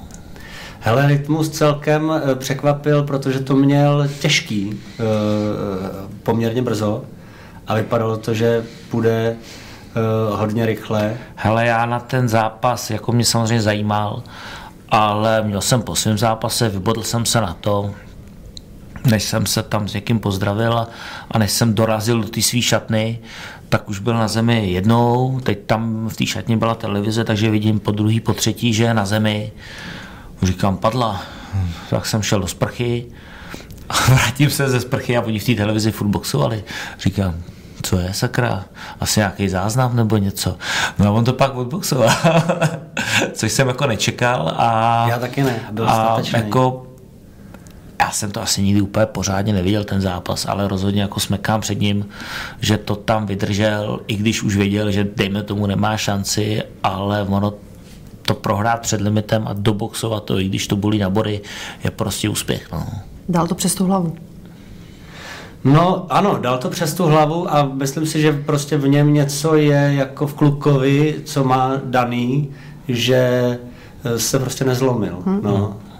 Byť tahal teda sakra za kratší konec, jako eh, Ota byl prostě o třídu jinde, jo. Byť byl menší, lehčí, najednou bylo vidět, že jako tenhle parametr není úplně rozhodující v momentě, kdy ten level toho boxování tak, je na jiných úrovních. Když je velký rozdíl, tak můžeš být sebe lehčí no, Jasně. v tom výkonu. Je to tak? Já jsem taky o něco málo vyšší než Lukáš. A ta Delší ruce. mám, mám delší ruce, ale nevím. Ale většina mých soupeřů byla větší než já. A jak tady byli fakt dlouháni, víš, jakože jsem říkal, jak vysoký člověk se dokáže sesekat do těch 69 kg, jako to byli kluci, kteří měli třeba přes 180, 185 cm, jako pavouci vlastně. Hmm. Ale určitě jsem boxoval s někým, kdo byl přes 1,90 m. To je úlet. V této váhovce? Jasně, jasně. Přes 190, no do 70 kg, to je, no dobře. Bych řekl, že patří jako, A Často jsem si u těchto kluků myslel, že nebudou mít vůbec ránu. A oni, jak mají ty ruce jak skládací metr, tak to kolikrát byly obrovský bomby. No. I když ty svaly tam takový nebyly třeba. no, neměl sval, jen se svalit, no. Helejte, ty jsi mluvil o tom Jarkovi Nohavicovi, Jo, my se totiž t- trošku blížíme do závěru. Uh, Marku, dokázal bys to uh, přebouchat uh, na tu píseň, která se jmenuje Do prdele práce? Tak, Lukáši, to je pro tebe. Tak Jarek Nohavica odchází do restaurace a vrátí se tak v 10. A já jsem tady pořád na vlnách Rádia Kašpar s Jarkou Konečnou a Lukášem Konečným. Bavíme se o boxu a nejenom o tom.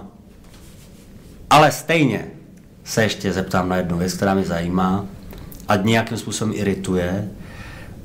Um, nejsem si jistý, jestli se tomu říká freak match, takový ten jako souboj blbců, uh, což je v přeneseném slova smyslu. Ale Lukáši, mm, co říkáš teďka na ty zápasy, které se dávají dohromady čím dál tím víc, jakože vezmu, já to nechci jako vulgarizovat, ale jaký nějaký youtuber, jo, já pořádně trochu nevím, co to je, a pak je nějaký bývalý MMA zápasník a jdou jako spolu boxovat a má to obrovskou sledovanost, obrovský pay-per-view a jako je z toho záležitost. Nebo e, si pamatuju, když jsme točili Most, že jsem byl v místní tělocvičně a lidi mi říkali, dneska je ten zápas prostě Floyd jde s Conorem a já jsem říkal, no, jde s Conorem. A říkali, to, to jsem to volepil na Conora, to já jsem zvědavý, jak to dopadne. A já jsem říkal, jo, vy jste to vylepil na Conora. No to je jako kdyby šel oca zvrtět ze psem, no tak eh, good luck, to jste mi ty prachy mohl dát, jako vlastně jsem, mm. vlastně jsem žasnul, že ten mediální hype, mm. jako že tomu ty lidi, za prvý asi rozumějí teda jako tomu, Hovno. to- chtěl jsem to říct takhle, přesně, děkuju, uh, ale jako si nedovedu představit, že nějaký super závodník v motokárách se sedne do Formule 1 a že někoho napadne, že možná vyhraje. Fakt ne. A stejně tak, když přesadím prostě Hamiltona do té motokáry, tak taky ne. A přesto jako to nějak nabývá na popularitě, prostě tyhle ty jako mače. A to se vůbec nechci otírat o dva repery, který, se, který jsou jakoby hlavním tahákem večera v O2 aréně, jo. Ale vlastně čekám, jestli opravdu jako Pavel Novotný nakonec půjde s řepkou, jo, nebo co, co nás ještě čeká, co si o tom myslíš? Já tohle beru částečně už jako promotér, protože nějaký akce občas pořádám. A já to beru, mě to nevadí. Když to přiláká zájem médií, když to přiláká diváky, tak to ve finále pomůže tomu sportu, pro který to dělám.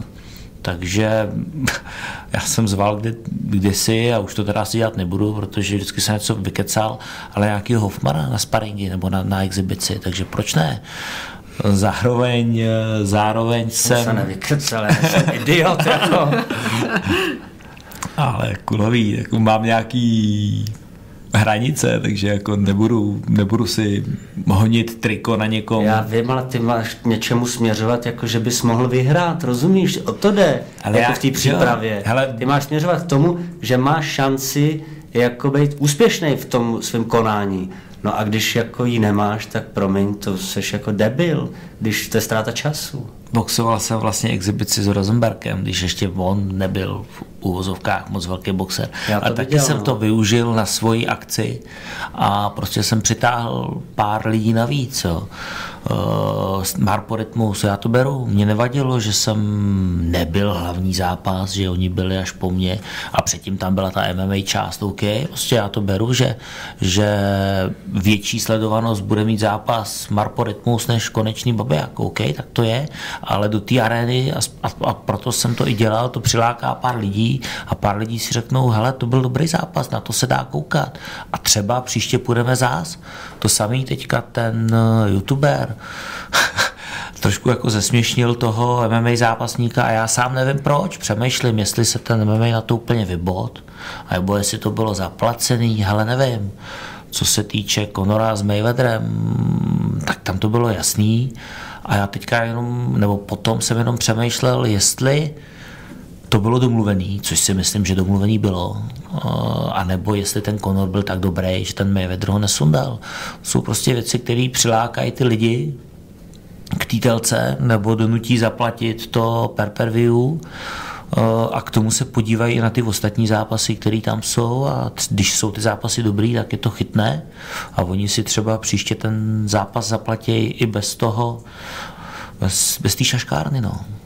Jako z pohledu promotéra eh, ti rozumím, mě to osobně teda moc jako netankuje jako, jako diváka, ale jasně, teď Ježíš Maria, Ale no na to tak jo, koukat. podívej se, ale ty jsi na to koukal, na toho Konora s Mayweatherem, nebo potom? Ty se skoukal na toho Marpa s Rytmusem, jo? Já sám nevím, jestli jsi koukal nebo ne. Počítám, že jo. Byl že... jsem tam naživo, tak co jo. jsem měl dělat?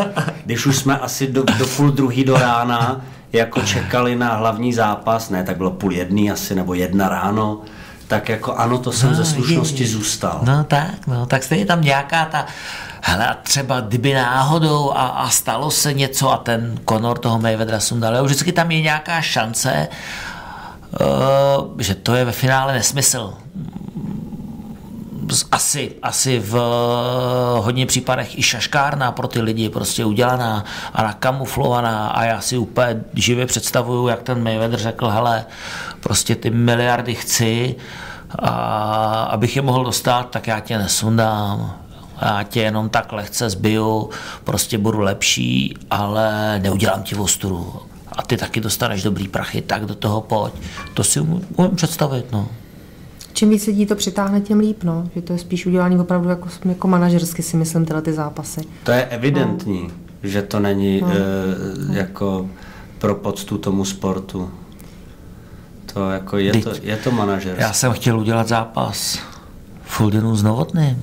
A Foldinu s Novotným. Jako promotéra prostě pecka. Hele, A ale to bych, počkej, to bych, to bych asi jako, to, to by mě tankovalo. To, to bych se říct, jak no, jsem neviděl vidíš. Tysona s Royem Jonesem, tak, eh, a, a netankovalo mě to, tak eh, jako Foldinu s Novotným to bych, eh, Nebylo to daleko, prosím tě, nebylo tak, to daleko k on mu odřekl vyzývatel, no, tak to je vlastně jako nesmysl, že jo, že, že někdo vyzve a pak ti odřekne.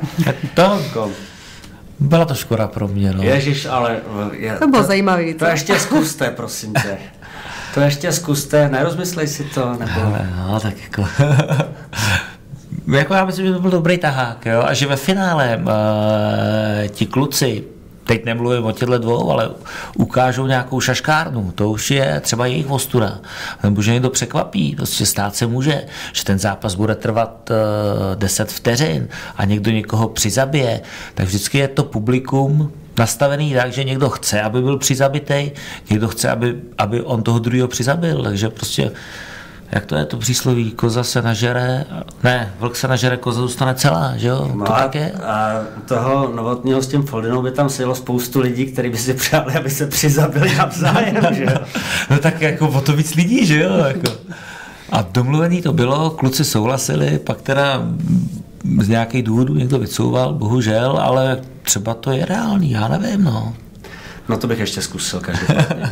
Dobře, mám brouka v hlavě. Uh, Marku, skoč mi na, my ještě nejsme starí, když takhle se na Lukáše dívám, jak je svěží, tak eh, dej tam rybičky 48. Děkuju. Martin Hoffman na vlnách Rádia Kašpar s Lukášem Konečným boxerem a jeho ženou Jarkou. Lukáši, nepřipadáš si starý, ne? Jsem mladý kluk, celý život mám před sebou, nebo Jo, mě. No, je to pak tak, klidu, no. Já jsem taky cajk. Jarko, připadá ti Jsme taky takový... v pohodě, teda on je úplně mladý. Ty seš úplně v No. pohodě, to bych vůbec jako si nedovolil, to jak kouknu a vidím. Lukáš občas mám pocit spíš, že tak jako 20 a Puberta. Další vlna. Lukáši, eh, teď nevím, jestli to bude úplně pro naše posluchače, ale sorry, mě to zajímá, takže já se zeptám na to. Um, Joshua Wilder Fury, tahle ta trojka, eh, těžký váhy, eh, řekněme mm, možná první tři na světě v té těžké váze. Mm, kdo si myslíš, že kdyby se to mělo sjednotit a ono se to stane, eh, kdo zůstane na té úplné špičce? Tak pro mě je to jednoduchý. Pro mě Samo- taky. Samozřejmě je to jenom jako názor, ale tam je nejlepší boxer Fury. Fury. No, jasný. No, jasně. Mm, Trošku průšvih je v tom, že on se musí natrénovat a musí se připravit. Eh, U něj nikdy nevíš, ale myslím si, že poslední dobu už ukazuje, že na to má i po té psychické stránce. A co se Wildera týče, tak ten má strašný granát, ale chybí tomu ten zbytek. A co se Joshua týče, tak to je z nich možná jako nejlepší boxer po té technické stránce, ale zase tomu chybí nějaká třeba odolnost, i psychická odolnost. No. No, čeká nás to, ne? Eh, Fury eh, s Joshua. No už je to, myslím, teďka domluvený nějaký, jestli, nevím, jestli to je úplně všechno podepsaný, ale má to být během olympiády, jestli nějaký Arabský Emiráty, něco takového, sjednocovací vlastně zápas o titul všech čtyř velkých asociací, takže za mě jako paráda a těším se na to. No. Já se na to těším moc. Um, a jak nesázím, tak udělám výjimku a volepím to. A když já to mám složitý s tím sázením, já to většinou někomu přeju, tak si třeba radši vsadím na toho druhýho, protože když to někomu přeju a on... Se takhle jistíš, jo? No, je že to to taková máš prostě- pocit tak, jako hřejivý přesně. pocit u srdce, A nebo hřejivý pocit prachy. peněz. Jo, jo, to není špatný. Ale to já, když, když sázím, tak sázím jako pár korun, já jako vsadím pěti kilo, litr, jo, něco takového jenom. Já taky vsadím jenom pro radost. Vlastně vždycky typuju a dost často mi to vychází a tuším, že až eh, do toho dám prachy do toho Tak to svého nevyjde, typu, jo, jo, jo. že to spadne. No. Helejte, jak se máte eh, v této době?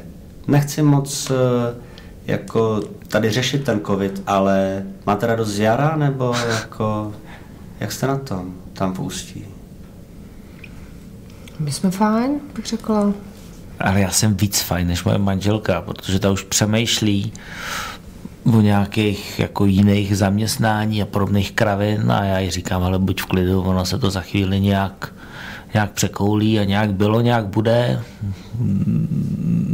V ohladu nejsme, to je v klidu, že to není hitparáda, to je jasný, ale spoustu lidí na tom je mnohem hůř a prostě já to beru tak, jak to je. No, to Mám zavřený divadlo, ty máš zavřenou hospodu. Já zavřený dvě hospody, zavřenou tělocvičnu a zavřenou saunu a zavřený fitko do Prahy, kam jsem jezdil, ale jinak jsem v cajku jako... Perfektní, vlastně eh, máš můj respekt. Ano, máš toho zavřenýho víc. Ty točíš filmy aspoň. Teď, ano. Až moc možná, já nevím, jo, nebo seriály, nebo co já vím co, ale, ale jako my taky ty práce točím. máme. Jo, jako to, to, to ne, i já, i manželka se do zadku úplně nekopem, ale už i částečně jo, no, takže...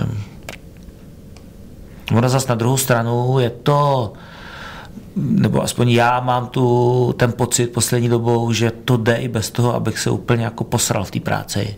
Tak vlastně můžeme fungovat a všechno jde a já můžu, můžu být trošičku, trošičku klidnější a méně rozlítaný. No. Manželka ta už si možná myslím, myslí sama, že je zaměstnaná méně, než by, než by měla být. Já si to nemyslím, protože doma je zaměstnaná až moc. No, protože pět prakticky jako téměř dospělých lidí neustále jí, neustále vytváří nějaký špinavý prádlo, že jo, takže jako spíš tímhle směrem, no. Tak nežer tolik, bože můj. No, Když je to chutná. Jasně. A těch sklenic prázdných na balkoně, ty beďo. Já mám basu a normálně, jak to z ní vytáhnu, tak to tam vrátím prostě. Jenom prázdný. To ne, to, to, to máš různý velikosti těch flašek. Jo, takhle. Jo, to jsou různý tvary, to jako není jako, že to tam naskládáš, to vůbec ne. A teď my jsme jako, my třídíme, takže to musíš odnášet. Já taky třídím. No, prý je to teďka jako smysluplný. No ale to přijde trošku občas jako nesmysl, protože to vytřídíš a oni to pak naházejí dohromady, ale Snad třídí. Ne, ne věřím, věřím, že tohle už se neděje. Je, je. To, Viděl jo. jsem to moc krát. Ale v klidu třídím, třeba jim to pak, jako, oni se to třeba pak jako zase rozstřídějí v těch, v těch sběrnách. Jak já to tam nevím. naházeli dohromady. No, třeba jo, já nevím. Mě to takhle říkal, že to lidi dělají. práci navíc, rozumíš? Jako, že dostanou tu práci, že někdo jim za to zaplatí, když to pak třídí. To jsme se dostali někam úplně jinam, ne? Prosím vás, víte, že je v plánu jako film z boxerského MMA prostředí? Ne? Ale jako vážně, ano. Zřejmě to vypadá, že za dva roky se bude točit jako příběh prostě z tohohle prostředí, což tady strašně dlouho nebylo. Mm, mám pocit, že od pěstí ve tmě, což byl dobrý biják, že tady nebylo. Tak ehm, Máš nějaký zprávy, evidentně. Mm, Mám nějaký zprávy. Jsem zvědavý, kdo to bude hrát. A nebude to mít jednoduchý teda, ten člověk, který to bude hrát. Aby ta vaše parta, ta vaše komunita to vzala. To není jen tak, víš co? Než aby se pak klepali na hlavu. Ale musí to vzít komunita, musí to vzít diváci. Já vím, ale to je věc cti profesně, aby to vzala komunita. Jo. Ale tak na jednu stranu film roky mám jakž takž rád, i když, i když ty zápasy tam jsou nesmysl a prostý, ale ve finále to tomu boxu zase pomohlo. Ale takže já to funguje tak beru. to. No, funguje to, jasně. Tak Za to beru. srdce to bere. Pěstí ve tmě taky, jako super. Lukáši, přemýšlíš někdy nad tím, eh, co bys chtěl, aby bylo za deset let? Ale chci se mít dobře, hotovo, chci, aby se moje děti měly dobře a jako nějak jako bych to víc nerozpitvával. Přijde mi to zbytečný, protože kdo ví, co přijde, jasný. Nejhorší je samozřejmě zdraví, když má někdo nějaký zdravotní problémy, tak v tu chvíli mu dojde, že nejdůležitější je to být zdravý. A jestli máš prachy, jestli jsi mistr světa a podobný kraviny, to už je, to už jakoby šumák. To jo, já jsem se ptal jenom, jestli třeba sníš někdy. Ale jo, sníš, ale, ale nesměřuju to zase až tak úplně jako do nějaký moc velký dálky, no. Jarko, bych ti rád tuhle otázku položil taky, ale zapomeň na to, co tady teďka říká.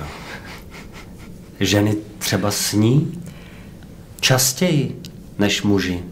Já jsem asi jiná, teda, no, já protože jsem to to, vůbec jako- koukám na tebe a tuším, že jsi, že jsi asi jiná. Možná Jo, jsme měli začít Jarkou, sakra.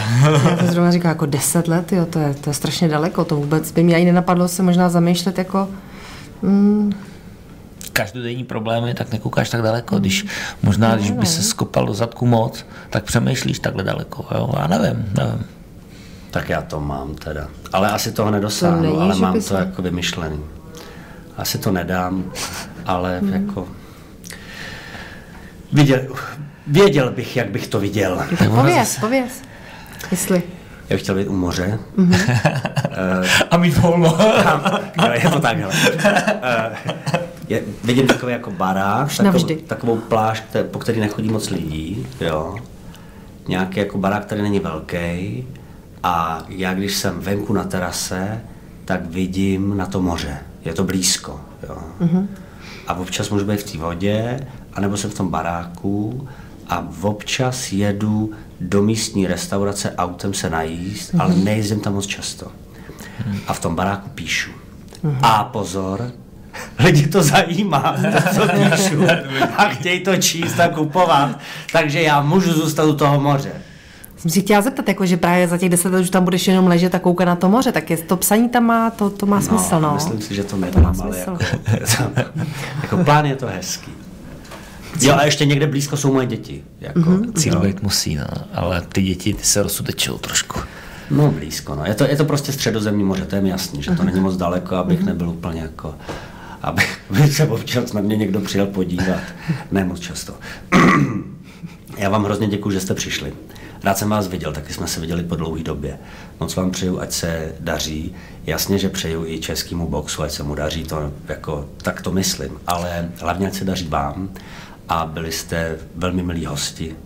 Tak zůstaňme zdraví a dobrý mysli. Vážení posluchači, to byla Jarka Konečná. Jarko, ahoj. Ahoj, moc děkujeme za pozvání, jestli můžu ještě takhle. Ano. A samozřejmě taky přejeme hodně zdraví a hodně úspěchů divadlu. Díky. A to byl one and only Lukáš Konečný, mistr světa v boxu, který nikdy nebyl počítaný, není vypatlaný a je to fajný muž. Jo, dík za to vypadlo, ale díky. Říkám, že není No vypatlaný. teď já ti za to děkuju. Tak. Poslední píseň Gonna Fly Now z filmu Rocky. Pan Marek Schleichert.